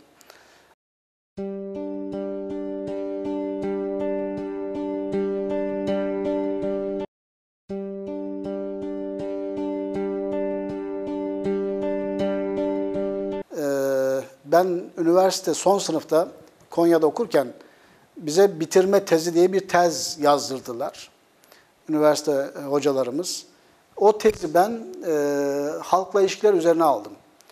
E, Türkiye'de halkla ilişkiler e, ve belediye uygulaması diye yazdım. Belediyelerde halkla ilişkiler diye yazdım. E, bu tezimi üniversitede e, tamamladım. Çok da güzel oldu. Hala mesela şu anda o tezden bazen zaman zaman istifade ederim. Ee, bu tezden bahsedince İstanbul Büyükşehir Belediyesi'nde dediler ki zaten biz de direkt beyaz masayı düşünüyorduk seni. Çok da iyi oldu. Ee, halkla ilişkiler birimine düşünüyorduk. Ee, o zaman Akif Gülle Bey, ondan sonra e, Cengiz Özdemir, İstanbul Büyükşehir Belediyesi Büyükşehir Belediye Başkan Danışmanı. Ee, yine Osman Öztürk Hocam, Profesör Osman Öztürk Hocam. Bunlar bir mülakat yaptılar. Ve neticede e, İstanbul Büyükşehir Belediyesi'nde Beyaz Masa koordinatör olarak bize görev verdiler. Ee, Yıl kaçtı başkanım? 1995 Evet. yılında. 93'te çünkü Kütahya'ya başladım üniversiteye. Ee, 95'te İstanbul Büyükşehir Belediyesi'ne geçtim. Ee, iki sene Beyaz Masa'da koordinatör olarak e, görev yaptık. O iki sene içerisinde Kütahya Dumlupınar Üniversitesi'nde dava açtık. Sözleşmemizi yenilenmemesi olayına dava açtık. Davayı kazandık. Ama gidip tekrar Kütahya'ya başlamadık. Hemen oradan e, devlet memuriyeti ile ilgili e, muvaffakatımızı alarak İstanbul Büyükşehir Belediyesi'nin resmi devlet memuriyetine geçtik. E, araştırma müdürlüğünde müdür yardımcısı kadrosu ile İstanbul Büyükşehir Belediyesi'ne başlamış olduk memuriyete iki sene sonra. Sonrasında da orada işte Cengiz Özdemir hocam, o da profesör, e, şu anda emekli oldu Teknik Üniversiteden. E, bir sene, bir buçuk seneye yakın e, araştırma müdürlüğünde müdür yardımcılığı yaptım. Bu esnada işte ilk oğlum Melih dünyaya geldi. E, 96. E, 97'li yıllar. iki sene boyunca orada beraber görev yaptık. Biraz e, o zaman şeyi konuşalım başkanım. E, ilk çocuğunuz orada doğdu. Evet, İstanbul'da Büyükşehir Belediyesi'nde görev yaparken eşim de öğretmendi. İşte o Bayrampaşa'da e, görev yapıyordu. İlk biz evi Bayrampaşa'dan tutmuş idik. O ilçeye de başladı. Daha sonra bana lojman çıktı. Bakırköy'e geçtik. E, o Bayrampaşa'ya gelip gitmeye başladı. Biraz böyle zor bir süreçti. Bakırköy'den Bayrampaşa'ya gitmek için, okula gitmek için 3-4 vasıta değiştirerek gidiyordu günlük. Akşam de yine aynı şekilde 3-4 vasıta değiştirerek eve geliyordu filan. Nihayetinde sonrasında işte Bakırköy'deki bir okula, onun da evimizin çok yakındaki bir okula tayini aldırarak 13-14 seneye yakın İstanbul'da eee, ben işte belediyede değişik görevlerde. Ha, bu arada 99 yılında müfettişlik sınavı yapıldı. 99'da müfettiş oldum. Müfettişliğimin yanında eee kadro müfettiş olmakla beraber idari görevler üstlendim. Halkla İlişkiler Müdürlüğü eee Ali Müftü Bey'in döneminde e, bir başlayacak olduk. O zaman nasip olmadı. Sonra Kadir Topbaş Bey seçilir seçilmez ilk görev döneminde hemen bizi Halkla İlişkiler Müdürü olarak tayin etmişti. E, Kadir Bey ile de böyle bir sıcak temaslarımız başladı. Sonrasında işte belediye başkanlığı döneminde de çok güzel İstanbul'dan Safranbolu'ya, Safranbolu'yu çok severdi Kadir Bey. E, Kastamonu'dan evliydi. E, gelip geçerken de Safranbolu'ya uğrar. Safranbolu'ya çok önem verirdi. Çünkü Kadir Bey tarihi dokuyu, tarihi değerleri e, önceleyen bir mimardı. İstanbul Büyükşehir Belediyesi'ndeki belediye başkanlığı döneminde de bunun çok yansımalarını görebiliyoruz. Çok restorasyon çalışmaları, tarihi dokuyu canlı tutma, sadece maddi varlıklar değil, köprüler, hanlar, hamamlar ya da işte camiler değil, o kültürel dokunun yaşamasını da çok önemseyen bir yapıdaydı Kadir Bey. Ee, iki buçuk, üç seneye yakında onunla işte e, Büyükşehir Belediyesi'nde ben Halkla İlişkiler Müdürü, o da Büyükşehir Belediye Başkanımız olarak görevler yaptık. Tabii Sayın Recep Tayyip Erdoğan'ın belediye başkanlığı döneminde Beyaz Masa'da ben görev yapıyordum. Ee, onunla çok güzel anılarımız oldu. Ee, Sayın Recep Tayyip Erdoğan İstanbul Büyükşehir Belediye Başkanı olarak hakikaten e, çalışmayı seven, sonuç odaklı meseleye bakan bir yapıda insandı. Mesela e, trafik müdürlüğünde o zaman müdür yardımcısı olarak görev yapıyorum. Bir toplantı, ulaşım toplantıları oluyor. Böyle sektörel bazı toplantılar yapardı. Ulaşım sektörüyle ilgili, efendim sosyal hizmet sektörleriyle ilgili, yatırımlarla ilgili. Ulaşım sektörüyle ilgili toplantıda bizim müdürümüz o zaman izne ayrılmış. Baş müdür yardımcısı olarak ben toplantıya gittim. Bir önceki toplantıda e, e, zannediyorum Maslak civarında bir üniversite öğrencileri üst geçit istemişler. e, Sayın Tayyip Erdoğan da işte o toplantıda talimat vermiş filan yere bir üst geçit yapılsın öğrencilerin talebi var diye. Tam toplantı bitti kalkacağız böyle. Bir dakika dedi ya bu üst geçiti ne yaptınız? Filan yere yapacağımız üst geçiti ne yaptınız? Planladınız mı? Herkes tekrar oturdu. İşte o zamanki e, projeler daire başkanı dedi ki Sayın Başkanım biz oraya gittik, baktık. Üst geçit yapacağımız bir ayak askeri alanında, ortadaki ayak karayolları alanında, öteki taraf üniversite alanında. Üç farklı kurum dedi. Biz burada üst geçit yapmak istiyoruz. Ee, o zaman Refah Partisi muhalefet partilerinin yani iktidar başka partilerde. Ee, dolayısıyla biz bunu yapamayız dedi. Bu kurumlar bize bunu yapmamıza müsaade etmezler. Tayyip Bey masaya bir vurdu elini. Arkadaşlar dedi ya. Ben size bu üst geçidi yapın diyorum. Siz bana nasıl yapamayacağımızı anlatıyorsunuz. Mazeret uydurmayın. Bana mazeret söylemeyin. Gidin o üst geçidi yapın. Siz üst geçit yapacağız diye gittiğinizde asker size silah mı çekecek? Karayolları sizin önünüzü mü kesecek? Üniversite eylem mi yapacak ya da şey mi yapacak? Siz üst geçit yapacak, yapacağız diye oraya gidin, başlayın. Kurumlar size bunu da müsaade eder. Yani bakışı buydu hayata, Evet. hizmete bakış noktası. Bu anımı hiç unutmam. Her şeyin zekatı olan olduğunu inanan bir inanca sahibiz. E, maddi birikimlerinizin bir zekatı var. Kırkta birini fakirin fukaranın hakkı olarak yıllık ödersiniz. Yüzde iki buçuk. Bilgi birikiminin, tecrübenin de bir zekatı var. Efendim bilginin zekatı onu başkasına anlatmaktır, aktarmaktır. Tecrübenin zekatı onu uygulayarak başkasına göstermektir. Ben e, bu esnada işte doktorayı da bitirdim.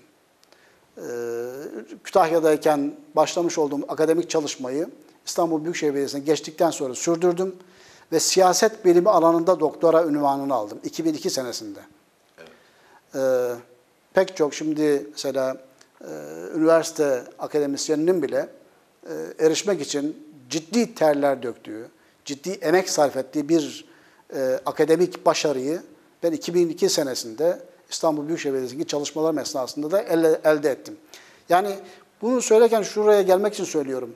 Hem akademik olarak, teorik bilgi itibariyle hem aynı zamanda e, İstanbul Büyükşehir Belediyesi'nin pek çok biriminde e, yöneticilikler yaparak, e, icraatların içerisinde bulunarak bir bilgi ve tecrübe birikimim gerçekleşti.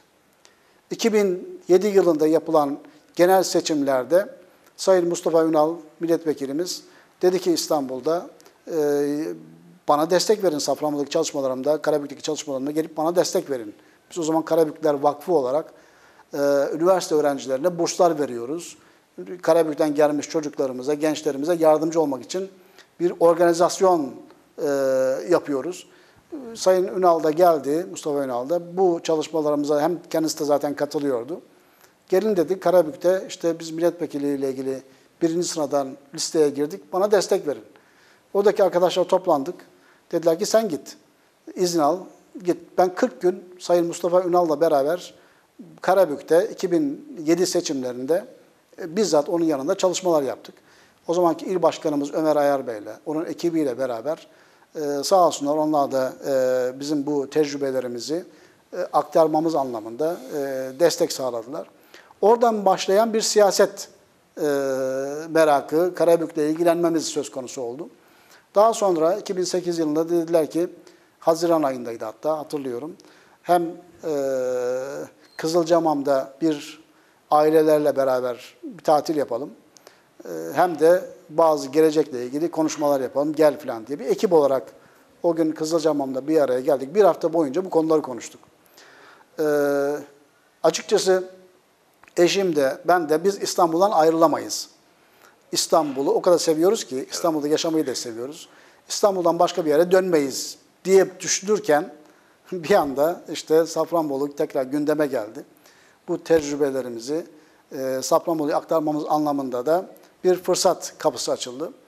E, az önce bahsetmiş olduğum Ahmet Akgündüz Hoca, bizi işte asistanlığını alıp daha sonra işte, e, doktoraya yerleştiren Ahmet Akgündüz Hoca, doktoraya başladığımız zamanlarda bizden şöyle bir söz almıştı ekip olarak. Demişti ki akademik çalışmayı doçent olmadan önce bırakırsanız size hakkımı helal etmem. Ben demişti sizi akademisyen olarak yetişmenizi istiyorum. Ee, hepinizi doçent, profesörler olarak görmek istiyorum falan diye e, o emeklerle yetiştirmişti. Şimdi siyaset kapısı gündeme gelince bu söz aklıma geldi. Dedim ki hocam bize hakkını helal etmez. Yoksa biz bu çalışmayı sürdürmemiz lazım. İşte ben o zamana kadar e, profesör olmak için, doçent olmak için çalışmaları sürdürüyorum bir yandan. Gittim Hollanda'da o zaman İslam Üniversitesi'nin e, rektörüydü.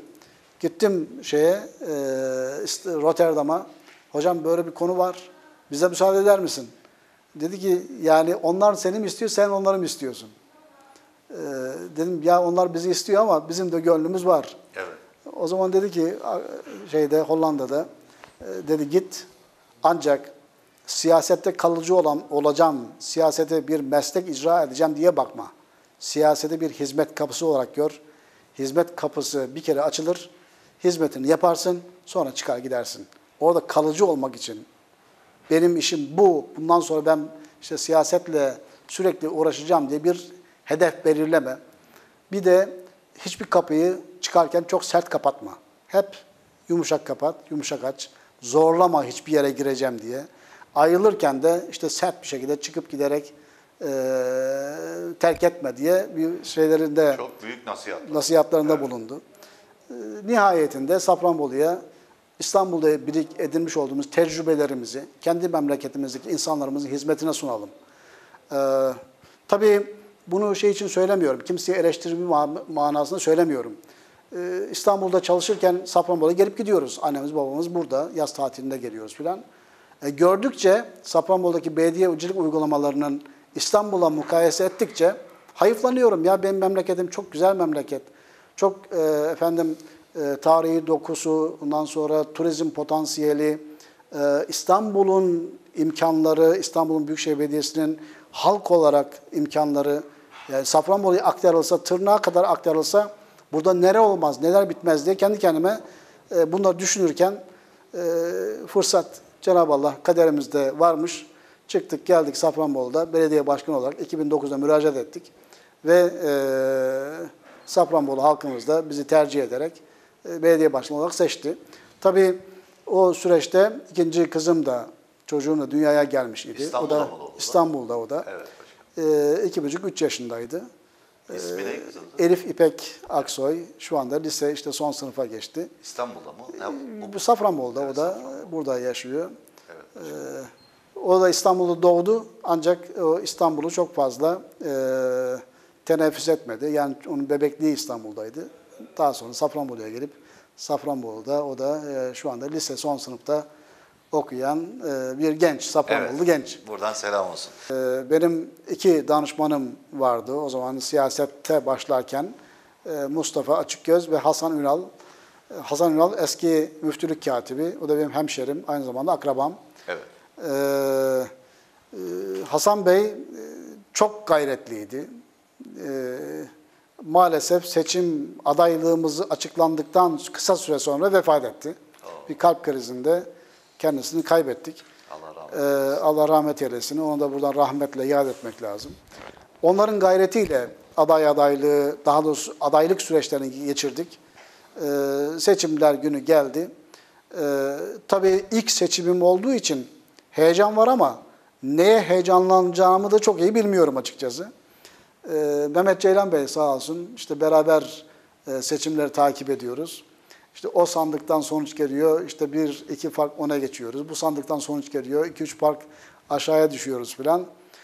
Ee, biraz böyle ne diyeyim, e, ne yapacağımı bilemez bir halde beklerken Mehmet Bey çok heyecanlı, eşi de Zahide Hanım da sağ olsun, e, o da çok heyecanlı. İşte öyle oldu, böyle oldu. Nihayetinde biz 250 küsür farkla belediye başkanlığını önde bitirdik. Tabii itirazlar oldu. Ondan sonra e, Yüksek Seçim Kurulu'ndan karar çıkıncaya kadar biraz gecikti. Bizim belediye başkanlığına başlama sürecimiz herhalde diğer arkadaşlarımıza göre bir 10 gün sonra filan Yüksek Seçim Kurulu'na itiraz olup oradan karar çıkıp gelinceye kadar bir 10 gün falan geçti. O 10 gün içerisinde işte gitmeler, gelmeler, ve o heyecan süreci tamamlandı. Nihayetinde de e, 2009 yılı Nisan ayı içerisinde biz Safranbolu'da 9 Nisan'da zannediyorum göreve başlamış olduk. Evet. Ee, büyük bir kalabalık hatırlıyorum. Ee, işte Evet. kutlamalarla e, makam odasına girdiniz. Ee, o anki hissiyatınız neydi başkanım? Yani o koltuğa Şunu- oturdunuz, e, kafanızda bir sürü proje var, yapmak istedikleriniz var. E, bir yanda şimdi günlerce e, kutlamalar olacak, ziyaretler olacak. Evet. Herhalde karmaşık bir e, mutluluk yaşamışsınızdır. Ya e, belki sevilmişimdir E, ama bende şu anda kalan iz o zamanki sorumluluk ağırlığıydı. Yani uyuyamama. Gece gündüz uyuyamıyordum özellikle e, ilk başladığım yıllarda, zamanlarda, aylarda 4-5 ay boyunca e, neredeyse kafamı yastığa koymadan geceleri geçirdiğimi hatırlıyorum. O sorumluluk duygusu, başlangıçtaki sorumluluk duygusu. Çünkü belediyeye geliyorum, işte kapım çalınıyor, içeriye giren vatandaş işte diyor ki başkanım benim şu kadar alacağım var, ben alacağımı ödeyin. İşte mali hizmetleri arıyorum, başkanım kuruş para yok kasada, ondan sonra ödeyemeyiz. O yani iş sahibi olarak siz de bu duyguyu yaşarsınız. Çekinizin zamanı gelmiş ödeyememişsiniz gibi düşünün yani meseleyi. Ee, o sorumluluk duygusu beni hakikaten çok yormuştu o zamanlar. Çok ezmişti öyle diyeyim yani. Ama nihayetinde e, belediyenin imkanlarını geliştirerek e, bıraktığım zamanlarda hem kasada paramız hem kimseye, sokaktaki yaşayan insanlara e, Safranbolu'nun tedarik ettiğimiz malların e, paralarının tıkır tıkır zamanında ödeyen bir yapıya kavuşmuş idik. Bir hikayeyi burada hemen anlatayım. E, bir e, Hindistanlı guru e, yanındaki bir evladını yetiştirdiği bir çırağını e, test etmek ister. E, dünyaya nasıl bakıyor bu adam diye. Der ki işte bir eline e, kova verir. Şu leğeni der. Şu plan yerdeki gölden suyla doldur. E, bir tane küçük kova verir. O bakar ki ya der bu kovayla bu şey nasıl dolacak? Gider gelir gider gelir o küçük kapla kova, leğeni doldurmaya çalışır. En sonunda doldu mu der doldu. Gel bakalım buraya der. Şimdi bu leğene bir e, kaşık su at, tuz at. Bir kaşık tuz attırır, karıştırtırır. İç bakalım bunu. İçer nasıl, nasıl hissettin? Der ki işte biraz tuzlu. Hadi bir kilo tuz at. Karıştır, karıştır. iç bakalım. İçemez adam. Tabii çok acı. Ee, bu leğen der neredeki gölden doldurdum? Filan yerdeki. Giderler gölün başına. Bir kaşık tuz at, karıştır, karıştırır. İç bakalım. İçer ne hissettin? Hiçbir şey hissetmedim. Bir kilo tuz at, karıştır, karıştırırlar. Gene iç, gene hiçbir şey hissetmedim. İşte bir çuval tuz at, karıştırır. Ne hissettin? E, birazcık tuz hissettim. Bak der, leğendeki su aynı su. Bu gölün suyu. Bir kaşık suyu, tuzu bu leğende hissettin. Ama gölde hissetmedin. Bir kilo tuzu bu leğendeki suya attın, içemedin, çok acı gidedin. Bir kilo suyu göldeki suya attın, içtin, hissetmedin bile. Ancak işte bir çuval tuz atınca bir tadını birazcık hissettin. Gönlünü der, e, bir leğen kadar e, dar tutarsan bir kilo tuz bile senin gönlünü bulandırır. Çekemez hale getirir dünya dertlerini. Bir göl kadar büyük tutarsan, gönlünü çok genişletirsen bir ton su bile, tuz bile senin gönlünü bulandıramaz. Gönlünü geniş yap, gönlünü geniş tut. Küçük meselelere odaklanıp işte e, çekilmez hale getirme hayatı. Bu şekilde bir bakışla dünyaya bak diye. Çok güzel bir hikaye gerçekten. Ben de işte e, belediye başkanlığı sürecinde işte büyük meseleleri, büyük dertleri tabii ki özel bir önem verirsiniz ama gönlü geniş tutmayı zamanla öğreniyorsun bunları. Zaman geçtikçe bunları algılayamaya başlıyorsunuz. Kafanızdaki bütün projeleri yapabildiniz mi Safranbolu ile ilgili? Şöyle diyeyim, şimdi Safranbolu'ya belediye başkanı olduğumda e, tecrübelerimizle biz 100 günde acil olarak Safranbolu'nun çözmesi gereken projeleriyle ilgili, dertleriyle ilgili bir sorunlar skalası hazırladık. Safranbolu'da ne sorunlar var? 100 günde acil müdahale edilmesi gereken sorunlar. Bunların tamamını 100 günde çözdük. Ee, sonrasında daha büyük meselelerle ilgili Safranbolu'ya bir bakış açısı geliştirdik. Mesela e, Safranbolu'da ciddi bir yol problemi vardı başladığımız zamanlarda. Asfalt e, plenti 1985-86'lı yıllardan kalma e, işte saatte e, 10-15 ton zor üreten yine Kardemir'den e, atık malzeme olarak zift kullanan, kanserojen etkisi olan zift kullanan bir asfalt sistemiydi. Biz bunu e, Safranbolu'da işte modern asfalt dediğimiz, sıcak asfalt dediğimiz bitum kullanan ve saatte 60-70 ton üretim yapan bir asfalt plantine çevirdik.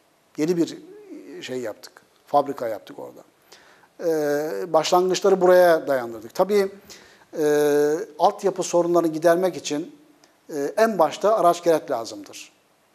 E, küçük ilçelerde, Safranbolu ölçeğindeki ilçelerde bu araç gereci bulmanız zamanla mümkün değil. Mesela grader bulmanız, dışarıdan grader bulamazsınız. Tam sizin çalışma yapacağınız zaman bütün müteahhitlerin graderleri kendi işlerindedir.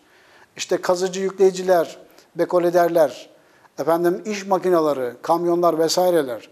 Bunların tamamı bir belediyenin elinde olması gereken e, alet edevatlar. Ama alması da zor bir yandan. Alması da çok zor, maliyetler çok yüksek. Ben Safranbolu Belediye Başkanı olduğumda belediyenin e, çalışan araç gereci o kadar azdı ki işte BMC kamyonlar yani 3-5 ton sırt, yük, sırt yüküne asfalt attığımızda hastane yokuşunu çıkamayan ya da işte asfalttan, emekten, e, Kıranköy'den bağlara doğru çıkışında ortalığı kara dumanlara boğan kamyonlar vardı. E, bu kamyonlarla bizim Safranbolu'nun sorununu çözmemiz mümkün değildi. Ben öncelikle iş parkını, makine parkını güçlendirdim. İstanbul Büyükşehir Belediyesi'nden, Belediyeler Birliği'nden, İller Bankası'nın katkılarıyla e, çok ciddi bir araç gereç parkı oluşturdum. Şu anda Safranbolu Belediyesi'nin e, ihtiyaç duyabileceği bütün araç gereci otoparkında mevcut. İtfaiye araçlarından tutun da sulama arazözlerine, süpürge makinelerine, kepçesine, graderine, efendim dozerine, asfalt e, sermeye yönelik e, finişerlerine kadar, silindirlerine kadar bütün araç gereci takım olarak düzdüm Safranbolu Belediyesi'ne. Ee, bazen belediye başkanlığı makam odasından e, dışarıya doğru bakardım. Mesela 15 dakika içerisinde Kranköy'den kaç tane belediye araç gereci geçecek? Saat tutardım, sayardım. Ekiplerim çalışıyor mu, çalışmıyor mu? Ekiplerim hareket halinde mi, değil mi? Sayardım ki 10 civarında, 15 dakikada 10 araç geçerse derdim ki belediye çalışıyor. 10 aracın altına düştüğünde ekiplerime derdim ki siz yatıyorsunuz. Siz çalışmıyorsunuz. Hareket lazım. Evet. Yani bazı kriterlerim vardı böyle. Ya da çarşıya gider, işte e, e, Kaz Dağlı Meydanı'nda bir noktadan görecek şekilde otururdum. Oradan geçen belediye araç gereçlerini takip ederdim. Nasıl kullanıyor şoförler? Artı araç gereçler dolu mu boş mu? Yani bir iş yaparak mı geziyor yoksa keyfi mi geziyor? Uzaktan bunların hepsini takip ederek e, derdim ki işte e, boş geziyorsunuz ya da işte işlerimiz iyi gidiyor arkadaşlar çalışmaya devam şeklinde. Araç gereci olunca bu sefer proje olması lazım. E, yani ne yapacağınızı önceden tasarlayarak yürümeniz lazım. İyi proje ekipleri oluşturdum belediyede. E, bu işleri bilen, geçmişteki tecrübeleri olan, proje üretmeyi e, bilen bir ekipler oluşturdum. Bu ekiplerle e, Türkiye'de şuna ben yürekten inanıyorum. Bir belediye başkanı iyi projesi olduğunda buna kaynak bulur. Hangi ilçenin, hangi beldenin belediye başkanı olursa olsun bir şekilde buna kaynak bulur. Muhalefettir, efendim iktidardır fark etmez. Mesela biz Safranbolu Belediyesi'ne her sene gerek kalkınma ajanslarından, gerek bakanlıklardan, gerek sivil kuruluşlardan, gerek diğer belediyelerden bütçemiz kadar mali yardım alırdık. Belediyenin bütçesi diyelim 40-50 milyon lira. Ben bir o kadar da Safranbolu Belediyesi'ne katkı bulurdum. Maddi katkı, işte e, araç gereç katkısı vesaire. İstanbul Büyükşehir Belediyesi'nden bir gün e, bir vesileyle işte Safranbolu'ya ve diğer ilçelere yapılan yardımları listelemişler. Sayın Mehmet Ali Şahin Bey çağırdı bir gün. Dedi ya İstanbul Büyükşehir Belediyesi'nden bütün yardımları sen alıyormuşsun. Diğer belediye başkanları bundan şikayetçiler. Ee, onlara hiçbir şey düşmüyormuş. Hepsini sen alıp gidiyormuşsun. Ee, bir liste döktürmüş. Ee, İstanbul Büyükşehir Belediyesi'nin Karabük'e yapılan yardımları diye bir liste gelmiş ona. Ee, listenin yüzde doksanı Safranbolu Belediyesi. Dedim ki başkanım ya bu arkadaşlar İstanbul'a gitmişler de biz şu makineyi istiyoruz, şu şekilde bunu bize verin demişler de İstanbul Büyükşehir Belediyesi demiş ki biz onu Safranbolu'ya vereceğiz diye önlerini mi kesmiş? E, gitmeyle ilgilidir bu. Yani kapıyı çalmayla ilgilidir. Kapıyı çalmadan kimse size şunu verelim demez. Ee, hem projeniz akla mantığa uygun olacak, e, ihtiyacınızı izah edebileceksiniz. Çünkü Safranbolu tüm dünyanın imrendiği bir yer. E, ben bakanlıklara gittiğimde e, dünya mirasını geleceğe aktarmak için ben bunu sizden istiyorum. Dünya mirasına katkıda bulunmak istemiyor musunuz dediğimde akan sular durur yani. E, bu manevi baskıyla e, bu işlerimizi yürütürdük. Evet, bir şey istemenin de çok e, adabı var, yolu var, Kesinlikle. var. Biz de öyle yaptık yani çalışmalarımızda. Evet başkanım e, şimdi araç dediniz, işte asfalt dediniz, e, e, altyapı dediniz. E, bir de tabii çok önemli bir konu var, turizm konusu. Kesinlikle. E, bununla ilgili ne gibi planlarınız vardı hayata geçirmekte? E, ya şunu da yapsaydım, şunu da yapamadım, zaman yetmedi dediğiniz bir proje var mı aklınızda? Şöyle diyeyim, turizmde, turizmin iki tane farklı yönü var. Birinci yönü tanıtım. Tanıtacaksınız ki, haberdar olacak ki kişi gelip onu yaşasın. Ha, özellikle Safranbolu gibi kültür turizmi yapan yerlerde gündeme gelme, akılda tutma, e, hafızalarda yer etme e, çok önemlidir. Turizm, kültür turizminin talepkarları e, daha e, okuyan, daha yazan, efendim e, gündemi e, popüler değil de biraz daha öze dönük yaşayan insanlardır. Dolayısıyla Safranbolu'nun da bu şekilde bir tanıtıma ihtiyacı vardı. Gelip geçen popülist bir şekilde tanıtım değil de daha derinden, daha yazılarak, okuyarak, efendim dergilerde yer alarak bir gayret sarf ettik. Ve e, başladığımız zamandaki turizm potansiyeliyle e, bıraktığımız zamandaki tu- turizm e, hacmi neredeyse 10 katına ulaştı. E, bu tanıtımlar sayesinde. İkinci yönü de, birinci tanıtım, ikinci yönü de icraattır. Yani siz tanıtırsınız ama işi boş bir şeyi tanıtırsanız vatandaş gelir der ki reklamlar saf, e, faslındakiler burada yalanmış. Uygulama e, tanıtım kadar önemli hatta daha önemli. E, turizmde e, şu çok anlatılır. Memnun olan turist e, oraya başkalarını gönderir. Ne kadar gönderir? Üç kişi de bir kişiyi gönderir. Memnun ayrılmamış olan turist, bir şehirden memnun ayrılmamış olan turist 10 kişiyi oraya gitmekten vazgeçirir. Ee, Böyle bir tanıtımlar e, yaptık. Festivalimizi de, diğer icraatlarımızda. Mesela ben Safranbolu Belediye Başkanı olarak Dünya Miras Şehirleri Organizasyonu'nun yönetim kurulu üyesi oldum dünyadaki bütün miras şehirlerin UNESCO Dünya Miras Şehirleri Organizasyonu'nun yönetim kurulu üyeliğini yaptım. Board of the Director dedikleri uluslararası yöneticiliğini yaptım. Her gittiğimiz yerde Safranbolu'yu gündeme getirdik. Çok önemli. Tarihi Kentler Birliği, Türkiye için mesela tüm tarihi kentlerin bir araya geldikleri e, organizasyonda her sene ödül kazandık. Evet. Avrupa Konseyi, Avrupa Konseyi'nde üst üste iki tane ödül aldık. Şeref plaketi, şeref bayrağı, Avrupa Büyük Ödülü'ne başvurmuş idik. Maalesef e, işte az önce söylediğiniz e, ömrümüz vefa etmedi, ayrıldık. Yapamadığımız icraatlarla ilgili belki son e, geldiğimizde bunlardan bahsedeceğiz ama e, bir niyetim UNESCO e, miras şehirleri arasında Safranbolu ile ilgili özel bir köşe açtırmak idi. İkincisi e, Türk dünyası kültür başkentlerinden bir sene Safranbolu'yu kültür başkenti haline getirmekti. Mesela en son bildiğim kadarıyla şimdi Eskişehir e, Türk dünyası kültür başkenti olarak e, şu anda e, bayrağı elinde tutuyor. Safranbolu'yu bunu yapmaktı. Ankara Büyükşehir Belediyesi ile beraber Avrupa Konseyi'nde beraber bu işleri yürüttük. Ee, şeref plaketini ve şeref bayrağını aldık. Ben orada Avrupa Konseyi'nde Safranbolu ile ilgili özel bir e, ödül köşesi aldım ve nihayetinde de o aldığımız ödülden sonra e, yarım kalan işlerimizden bir tanesi bu mesela. Safranbolu'nun bütün altyapısını Avrupa Birliği'nin hilesiyle şimdiki asbestli borular, efendim e, patlayan su sistemleri, işte altyapıdaki bütün e, altyapı ile ilgili o kanalların tamamını Avrupa Birliği'nin bütçesinden hibe olarak yapılması ile ilgili projeye geçirmiştim. Evet. Geçmişti proje. Geçti, her şey hazır hale geldi ama maalesef e, son noktada e, icraat aşamasına geçeceğimiz zaman hepsi kesildi gitti. Evet. Yani o kadar çok e, Safranbolu'yu gündeme getirecek, e, akıllı bir şekilde gündeme getirecek noktalara parmak basmıştık. Nihayetinde bunu Safranbolu'ya kazanca dönüştürdük. Evet. Bu şehrin e, ihtiyaçlarını giderecek kazanç noktalarına çevirdik bunları. Evet. Evet başkanım yani şimdi binlerce ilçe var Ee, ve bunların belediye başkanları var.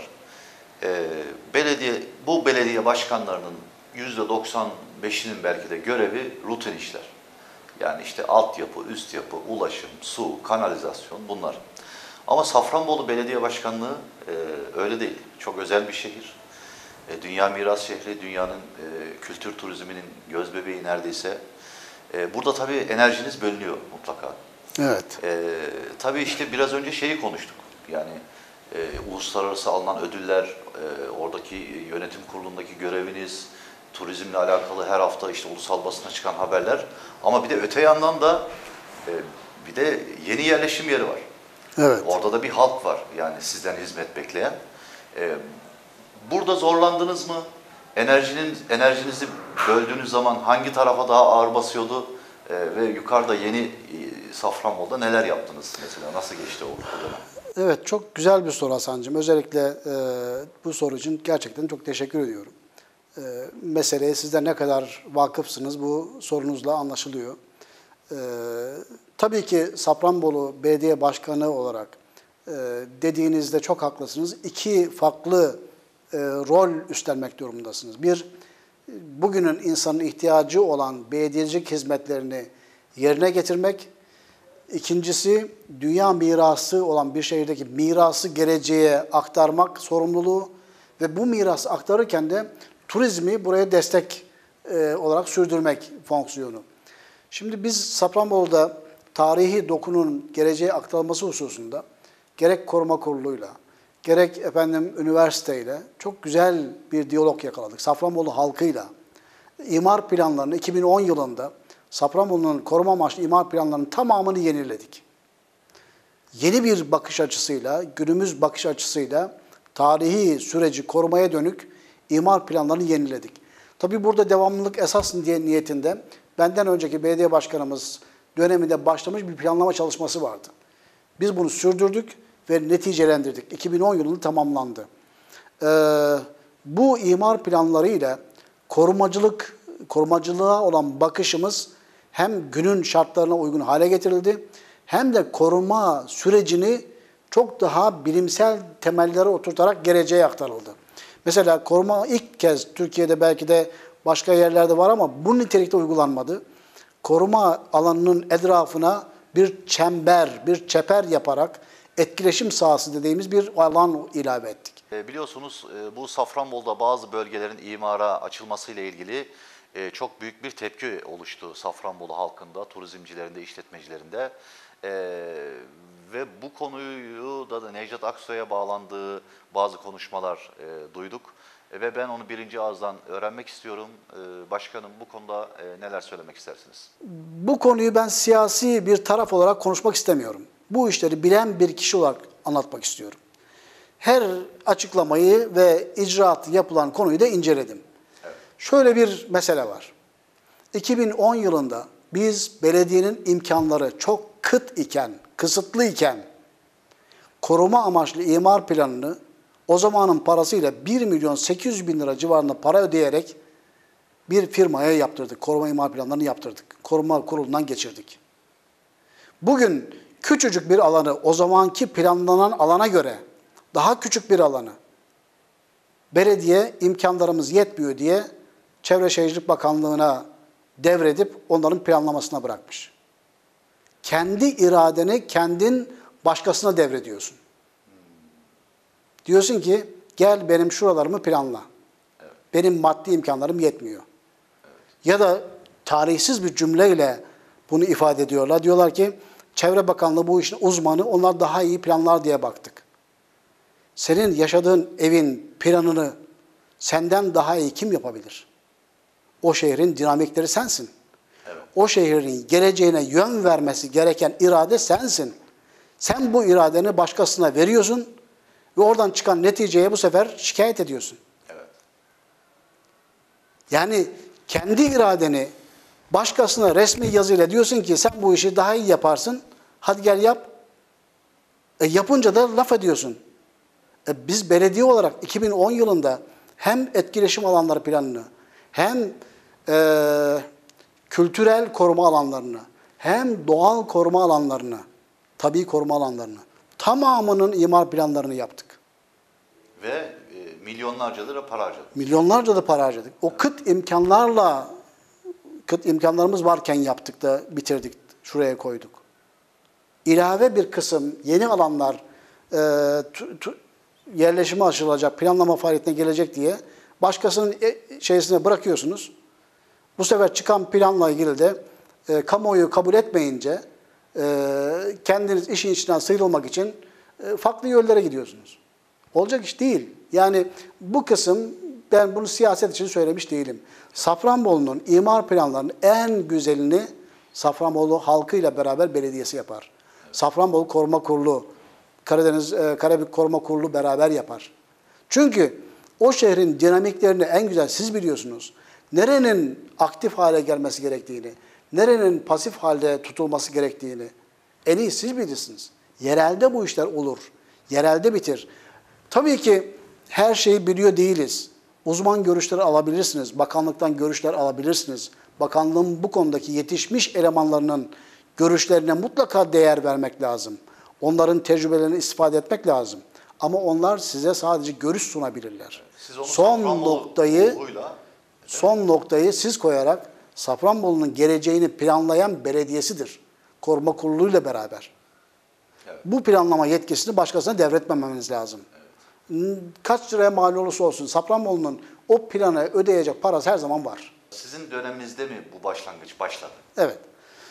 Şimdi bizim dönemimizde başlamadı. Bizim dönemimizdeki Hasan Dede projesiyle şimdiki planlama alanları çok farklı. Bizim dönemimizdeki Hasan Dede projesinin bir haklı gerekçesi şuydu.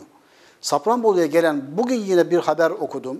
Diyor ki Safranbolu'ya gelen misafirler otoparktan çok şikayetçi. Safranbolu'nun ciddi bir otopark problemi var. Ee, Safranbolu'ya gelen misafirlerimiz araçlarını park edecek yer bulamıyor. Kap- kapmaca oynuyor adeta caddelerde e, yoğunlukla ilgili. Biz bu sorunu çözebilmek için bir arayış içerisine girdik. Hem gelen misafirlerimiz araçlarını sıkıntısız bir şekilde park etsinler, hem park ettikleri yerler turizmi, efendim tarihi korumacılığı, e, o şehirdeki sosyal hayatı etkilemesin. Onun için Hasan Dede en yakın yer idi. Ben hala bu Hasan Dede projesinin Safranbolu'nun geleceğinde otopark gibi bir ihtiyacı karşılayacak bir e, alan olduğunu düşünüyorum. Belki biz bunu yeterince ifade edemedik. Belki kamuoyu o zaman yeterince e, bunu algılayamadı. O bölgede araçları park edip hemen Safranbolu'ya bir asansör vasıtasıyla yukarıdan aşağı inip Safranbolu'ya gelen misafirlerimiz e, güvenli bir şekilde gezip araçlarında güvenli bir şekilde park edecekleri bir alandı orası. Bizim projemiz otopark alanını içeriyordu. Yine bunun yanında tabii ki otopark alanını boşaltabilmek, oradaki kamulaştırmaları yapabilmek adına da oradaki arsa sahiplerine daha gerilerden ne kadar geri e, efendim bugünkü belediyenin şantiye alanı, il özel idaresinin şantiye alanları civarından yani Kirkille'ye çok yakın yerlerden biz yerleşim yeri iki katlı binalar e, 100 metrekareye 15 metrekare 10 metrekare yapılabilecek nitelikte bir dönüme 100 metrekare yapılabilecek nitelikte ve birbirinden 15 metre uzaklıkta en az 15 metre yakınlıkta diyeyim e, yerleşimi içeren bir imar planı biz uygulamaya koymuştuk o zaman. Ama koruma kurulu kabul etmedi, reddoldu. Ama benim bu zaman projemle şimdikinin alakası yok. Şimdiki çok daha büyük bir alanları e, böyle bir otopark ihtiyacını giderecek bir altyapı e, içermeden yerleşme açıyor. Peki İmar planları yapıyor. bu proje kabul edilirse e, Safranbolu turizmine zarar verir mi? Ee, etkileşim sahasının imara açılması Safranbolu'ya ciddi zarar verir. O bir kere kesin. Ee, bu alanların ıslah edilmesi lazım mı? Turizme destek e, haline dönüştürecek altyapılara kavuşturması lazım mı? Evet. Buna da evet. Ama çok nitelikli, çok kısıtlı, e, çok lokal alanların turizme ilişkilendirerek yani normal yerleşimi açarak insanların isti, e, ikametgah haline dönüştürecek yerler değil de turizmi destekleyecek, turizm için altyapı alanları oluşturacak nitelikte buralarda turizm tesislerini yapmak adına koruma kurulunun da onayıyla buralarda e, yerleşim yeri olmaksızın turizm altyapı yeri olmaksızın turizm altyapısına dönük hizmet yerleri oluşturulabilir. Kahvesi Evet, e, benim de çok e, sabırsızlıkla beklediğim e, bir an.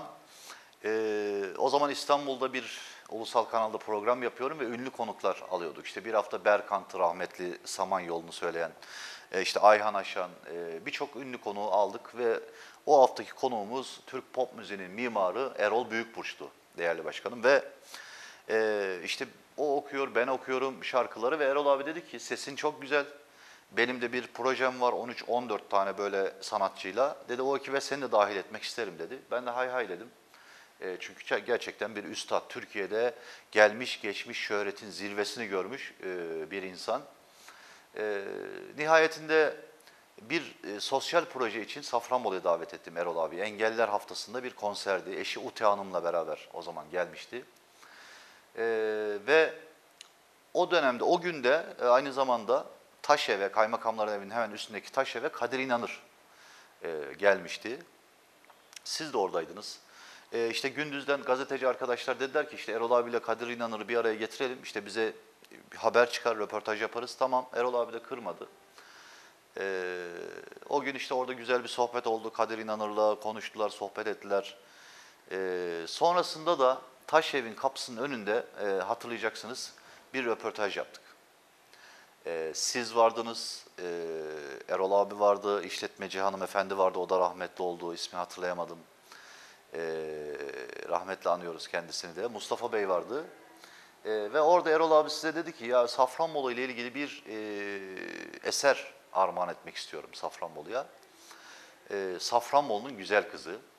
E, tabii dedi ki bu projeden ben para almayacağım ki gerçekten almadı ve ben de almadım. E, sadece işte stüdyo giderleri, e, klip, e, çekim ekibinin burada ağırlanması, gelmesi, gitmesiyle ilgili bir bütçe gerekiyordu. Ve siz de hiç düşünmeden e, bütçeyi karşılayacağınızı e, söylediniz. E, ve Safranbolu'nun Güzel Kızı diye bir e, eser ortaya çıktı ve hala da birçok insan arabasında e, işte telefonunda bu şarkıyı gezdiriyor, dinliyor E, ve yıllarca da dinlenecek e, bir şarkı ortaya çıktı. E, bu konuda ben bir kere şahsen teşekkür ediyorum size. E, sanata ve sanatçıya destek verdiğiniz için ve böyle bir projeyi es geçmediğiniz için. E, bu konuda neler söylersiniz? Evet, Safranbolu'nun güzel kızı parçası Erol Büyükburç'un çok güzel sesiyle işte bestelediği, sizin de çok ciddi katkılarla seslendirerek e, canlılık verdiğiniz güzel bir parça. E, bu gibi e, yine e, o zaman gündem sanatçılarından pek çoğunu Safranbolu'ya getirmiş ve onların Safranbolu ile ilgili besteler yapmalarına da e, destek vermiş idik. Gerek kitap basılması, mesela Safranbolu Araştırmalar Merkezi'nin basmış olduğu çok ciddi yayınlar e, Safranbolu'nun pek çok değerini e, kaybolmaz halde Arşivledi. arşivledi. Evet. E, yine mesela İstanbul'un güzelliklerinden bahseden o kadar çok roman, o kadar çok şiir, efendim şarkı vardır ki İstanbul'u gündemde tutar.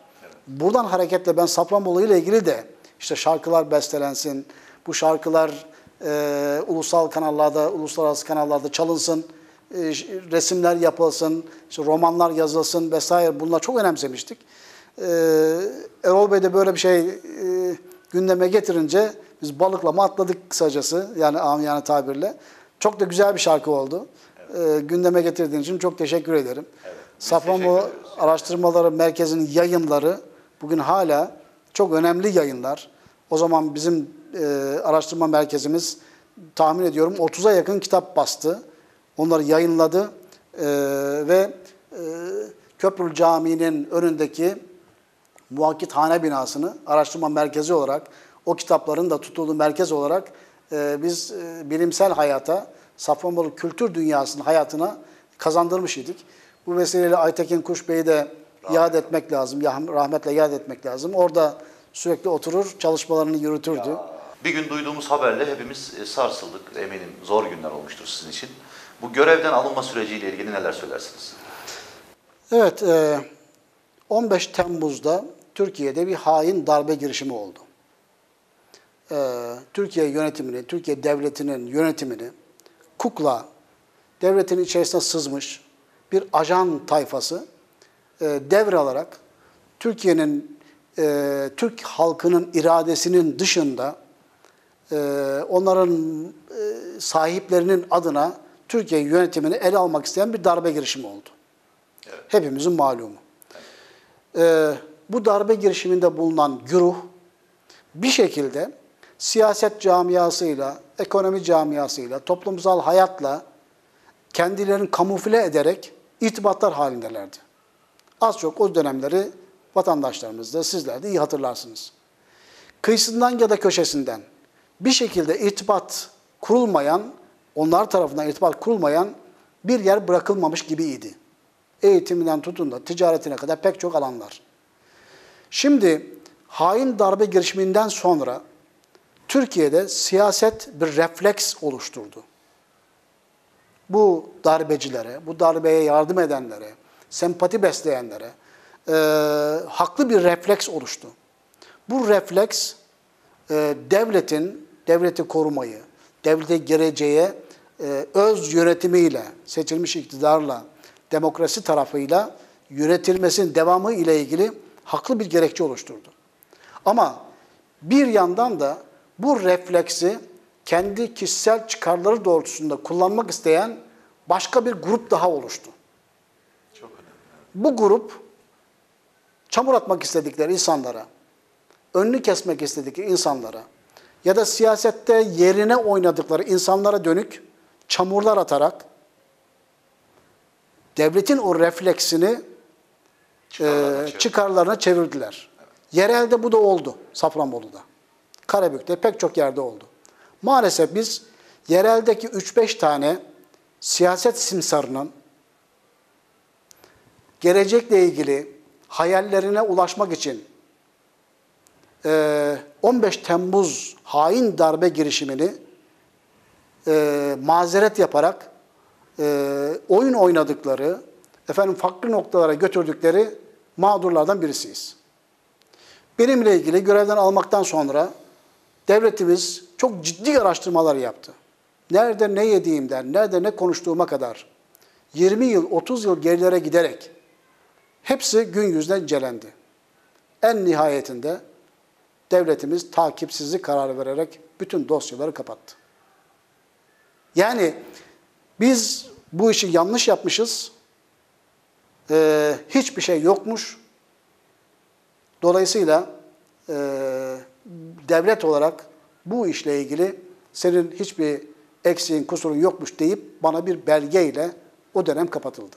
Yani görevden açığa alındım ama karşılığında bir mahkeme, bir yargılama, bir efendim dava süreci hiç yaşanmadı. Araştırma faslında devletimizin savcıları, devletimizin polisi gerekli araştırmaları yaptı ve nihayetinde dedi ki senin bir kabahatin yokmuş. Biz sana bu belgeyle takipsizlik kararı vererek bu iş kapandı diye e, belgeleriyle ispat edildi. Başkanım normal bir dönemde olsaydı siz Gündeme- görevdeyken bu araştırmalar yapılırdı. Aynen öyle. Ama o kadar bir kaos vardı ki, o kadar acele etmeleri gerekirdi ki tekrar yapılanmamaları için E, Yani o, o dönem belki devlet de o şikayetleri göz önüne alır, mecbur e, sizi çekti. Mecbur demeyelim. O yereldeki e, birkaç siyaset simsarının diyeyim, sözü geçen, işte belli noktaları işgal eden birkaç siyaset e, e, si- noktasındaki etkili kişinin maalesef bu refleksiyle oldu. Şimdi e, dönüp geriye baktığımda kazanan kim, kaybeden kim?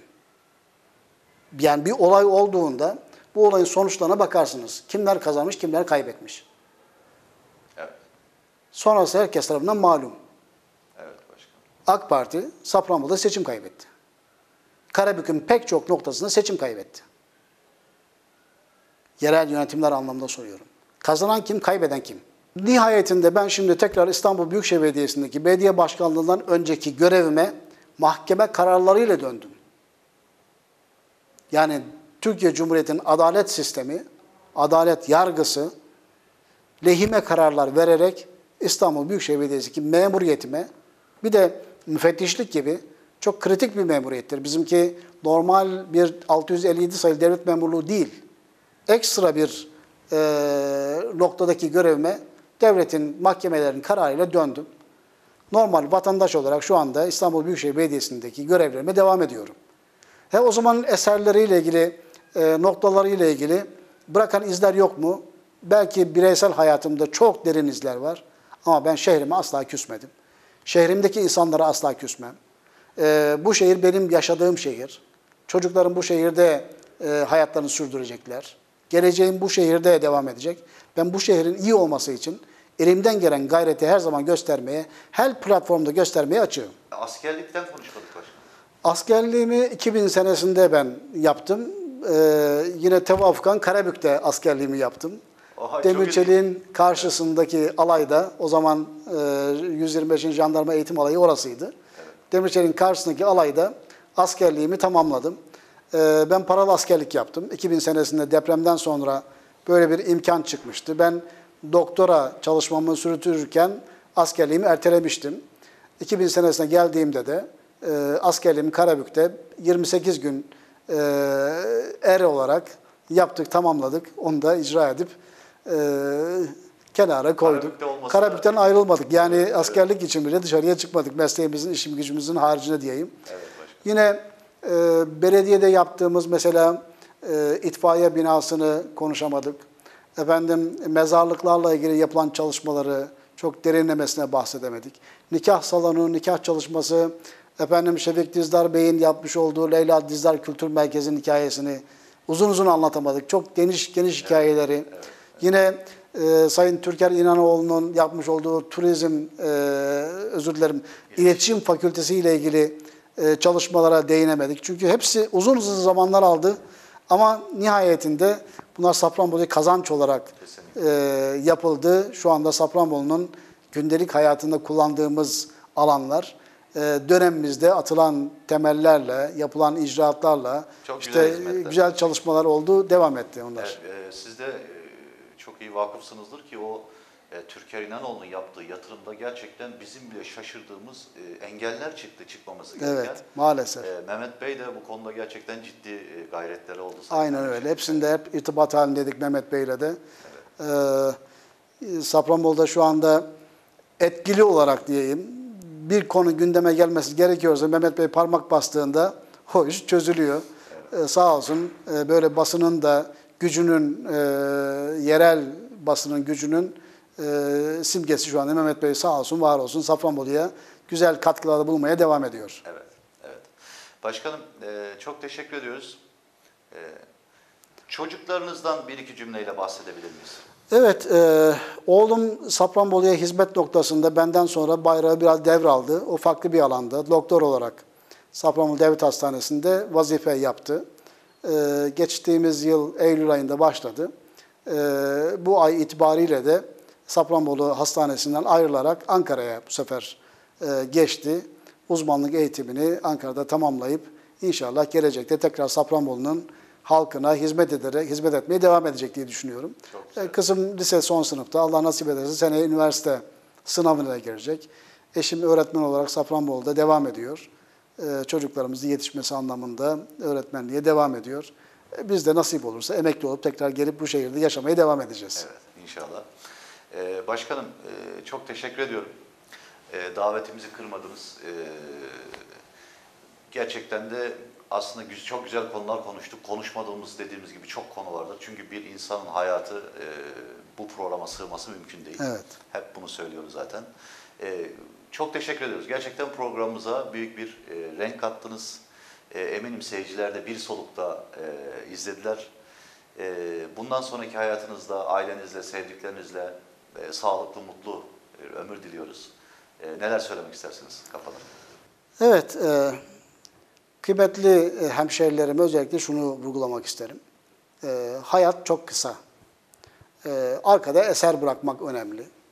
E, hoş bırakmak önemli. Atalarımız öyle demişler. Yani e, eşek ölür, kalır semeri, insan gider, kalır eseri. Arkada eser bırakmak lazım. Bu eserin en büyüğü e, gönüllerde bırakılan iz, sevgi e, eseri. İsmimiz geçtiğinde bir noktada iyi insandı, çalışıyordu, işte efendim faydalı bir insandı denilebilmesi en büyük eserimiz. İkincisi maddi eserler, şehrin her noktasında bırakmış olduğumuz maddi eserler. Bunları yapmaya, bunları efendim e, Safranbolu'ya hediye etmeye, vesile e, olarak e, olmaktan Cenab-ı Allah'a binlerce hamd senalar ediyorum. Böyle bir imkanı bize tanıdı. Kaderimizde bunları koymuş, biz de bunları icra ettik. Ee, bu eserlerin ortaya çıkmasında pek çok insanın bize katkıları var. Hiçbirisini es geçmeden, isimlerini zikredemeyeceğim kadar olan farklı insanlara tek tek teşekkür etmek istiyorum. Allah hepsinden razı olsun. Bu kadim şehirde taş üstüne taş koyan herkesten de bundan sonra da bu süreçte de e, kim fayda üretiyorsa Safranbolu'ya Allah onlardan razı olsun, hizmetleri daim olsun. Biz bir dönem yaptık bu işleri. Ee, Allah nasip eder bu şehirde yaşamaya devam ettiğim müddetçe de her platformda bu eserlerimizle ilgili ilavelerin yapılması anlamında e, bireysel hayatımızdaki bulunabildiğim kadar katkıda bulunmaya da devam etmek isterim. E, ne kadar ömür vermiş Cenab-ı Allah bunu bilemem ama ölümünün sonuna kadar da bu şehirde yaşamaya, şehrin geleceğine katkıda bulunmaya, geçmişinin korunması sürecinde e, bir taşın bile yerinden oynayarak, bir kiremidin bile yerinden oynayarak yok olmasına müsaade etmemeye gayretimiz devam edecektir inşallah. Allah sonumuzu hayretsin diyorum. Ee, tabii İstanbul'da yaşadığım için, yaşadığım ortamda da BRTV televizyonu e, uydu yayını olarak devam ediyor. Mümkün oldukça bunları izlemeye devam ediyorum. Bu kadar e, sık takip etme şansım hakikaten olmuyor ama gerek sosyal medyadan, gerek efendim e, e, BRTV'nin internet sistemi üzerinden programı takip ediyorum. E, ben de çok başarılı bir çalışma olduğunu görüyorum. E, yerel ölçeğin üstünde, e, ulusal boyutta bir program olarak da Kariyer Kahvesi isimli programınızı e, görüyorum. E, bu sebeple de sizi ve Mehmet Bey'i çok e, tebrik ediyorum. E, güzel bir proje. E, insanların hayatları gelip geçiyor. Onlar kendileri de yaşıyor, etrafı da yaşıyor. Onu belgelemek, fotoğraflarla işte o günü e, insanlara hatırlatmak iyi bir arşiv çalışması, e, bir biyografi çalışması. E, bizi de bu biyografi çalışmanızda, geniş olan çalışmanızda e, konu başlığı yaptığınız için ayrıca çok teşekkür ediyorum. Umarım burada anlattıklarımız bireysel yaşadıklarımızdan ibarettir. Burada hiç kimseyi hedef almadık. Hiç kimseyle ilgili bir hedef olma söz konusu aklımın ucundan bile geçmedi. Farklı noktalara çekilebilir mi konular? Belki çekerler. Ama benim söylemek istediğim, burada bu programda dile getirmek istediğim şey şu. O gün neydi? Ne oldu? Niçin oldu? Ben bunlara cevap vermeye çalıştım elimden geldiğince. Ne olduğunu hatırlatmak, nasıl olduğunu altyapısıyla, o zamanki duygularla, o zamanki olaylar zinciriyle gündeme getirmek ve niçin yapıldığını da insanların çok farklı noktaya getirdiklerini görüyorum. İstanbul'da bulunurken bir arkadaşım dedi ki, siz İstanbul, Safranbolu'da kaçak eee, kazı yaparken yakalanmışsınız. Kaçak kazı yapmışsınız. Ömrümde hiç hayatımda yapmadığım bir şey, gündemimize bile gelmeyen bir şey. Nedir bu dedim bir araştırdık. Tümülüs'te yaptığımız kazı, kaçak kazı olarak lanse edilmiş. Siz orada dedi işte define aramışsınız. Yani hiç aklımıza bile gelmeyen bir olay İstanbul'da farklı lanse edilmiş. Biz orada bir tümürüsü, e, oradaki bir kültür değerini gün yüzüne çıkartıp turizmin hizmetine sunmak, Safranbolu'nun değerlerini Safranbolu'yu yüzyılların öncesine taşımak için yapmış olduğumuz bir çalışma farklı noktalara götürülmüş. Bu gibi işte konuları izah etmek amacıyla bu programa katılmayı arzu ettim. Çok teşekkür ederim. Evet sevgili seyirciler, bir kariyer kahvesi programının daha e, sonuna geldik. Bugün e, Safranbolu eski belediye başkanı Doktor Necdet Aksoy'u e, konuk aldık ve kendisi tüm samimiyetiyle çocukluğunu, okul yıllarını, askerliğini, evliliğini, e, belediye başkanlığı yaptığı dönemdeki yaşadıklarını, e, yani görevden alınmasıyla ilgili samimi düşüncelerini, hissiyatını e, anlattı bize. E, bir bir e, solukta izleyeceğiniz bir program çıktığını düşünüyorum. Değerli başkanımıza çok teşekkür ediyorum tekrar ve bir başka kariyer kahvesi programında görüşmek dileğiyle Allah'a ısmarladık efendim.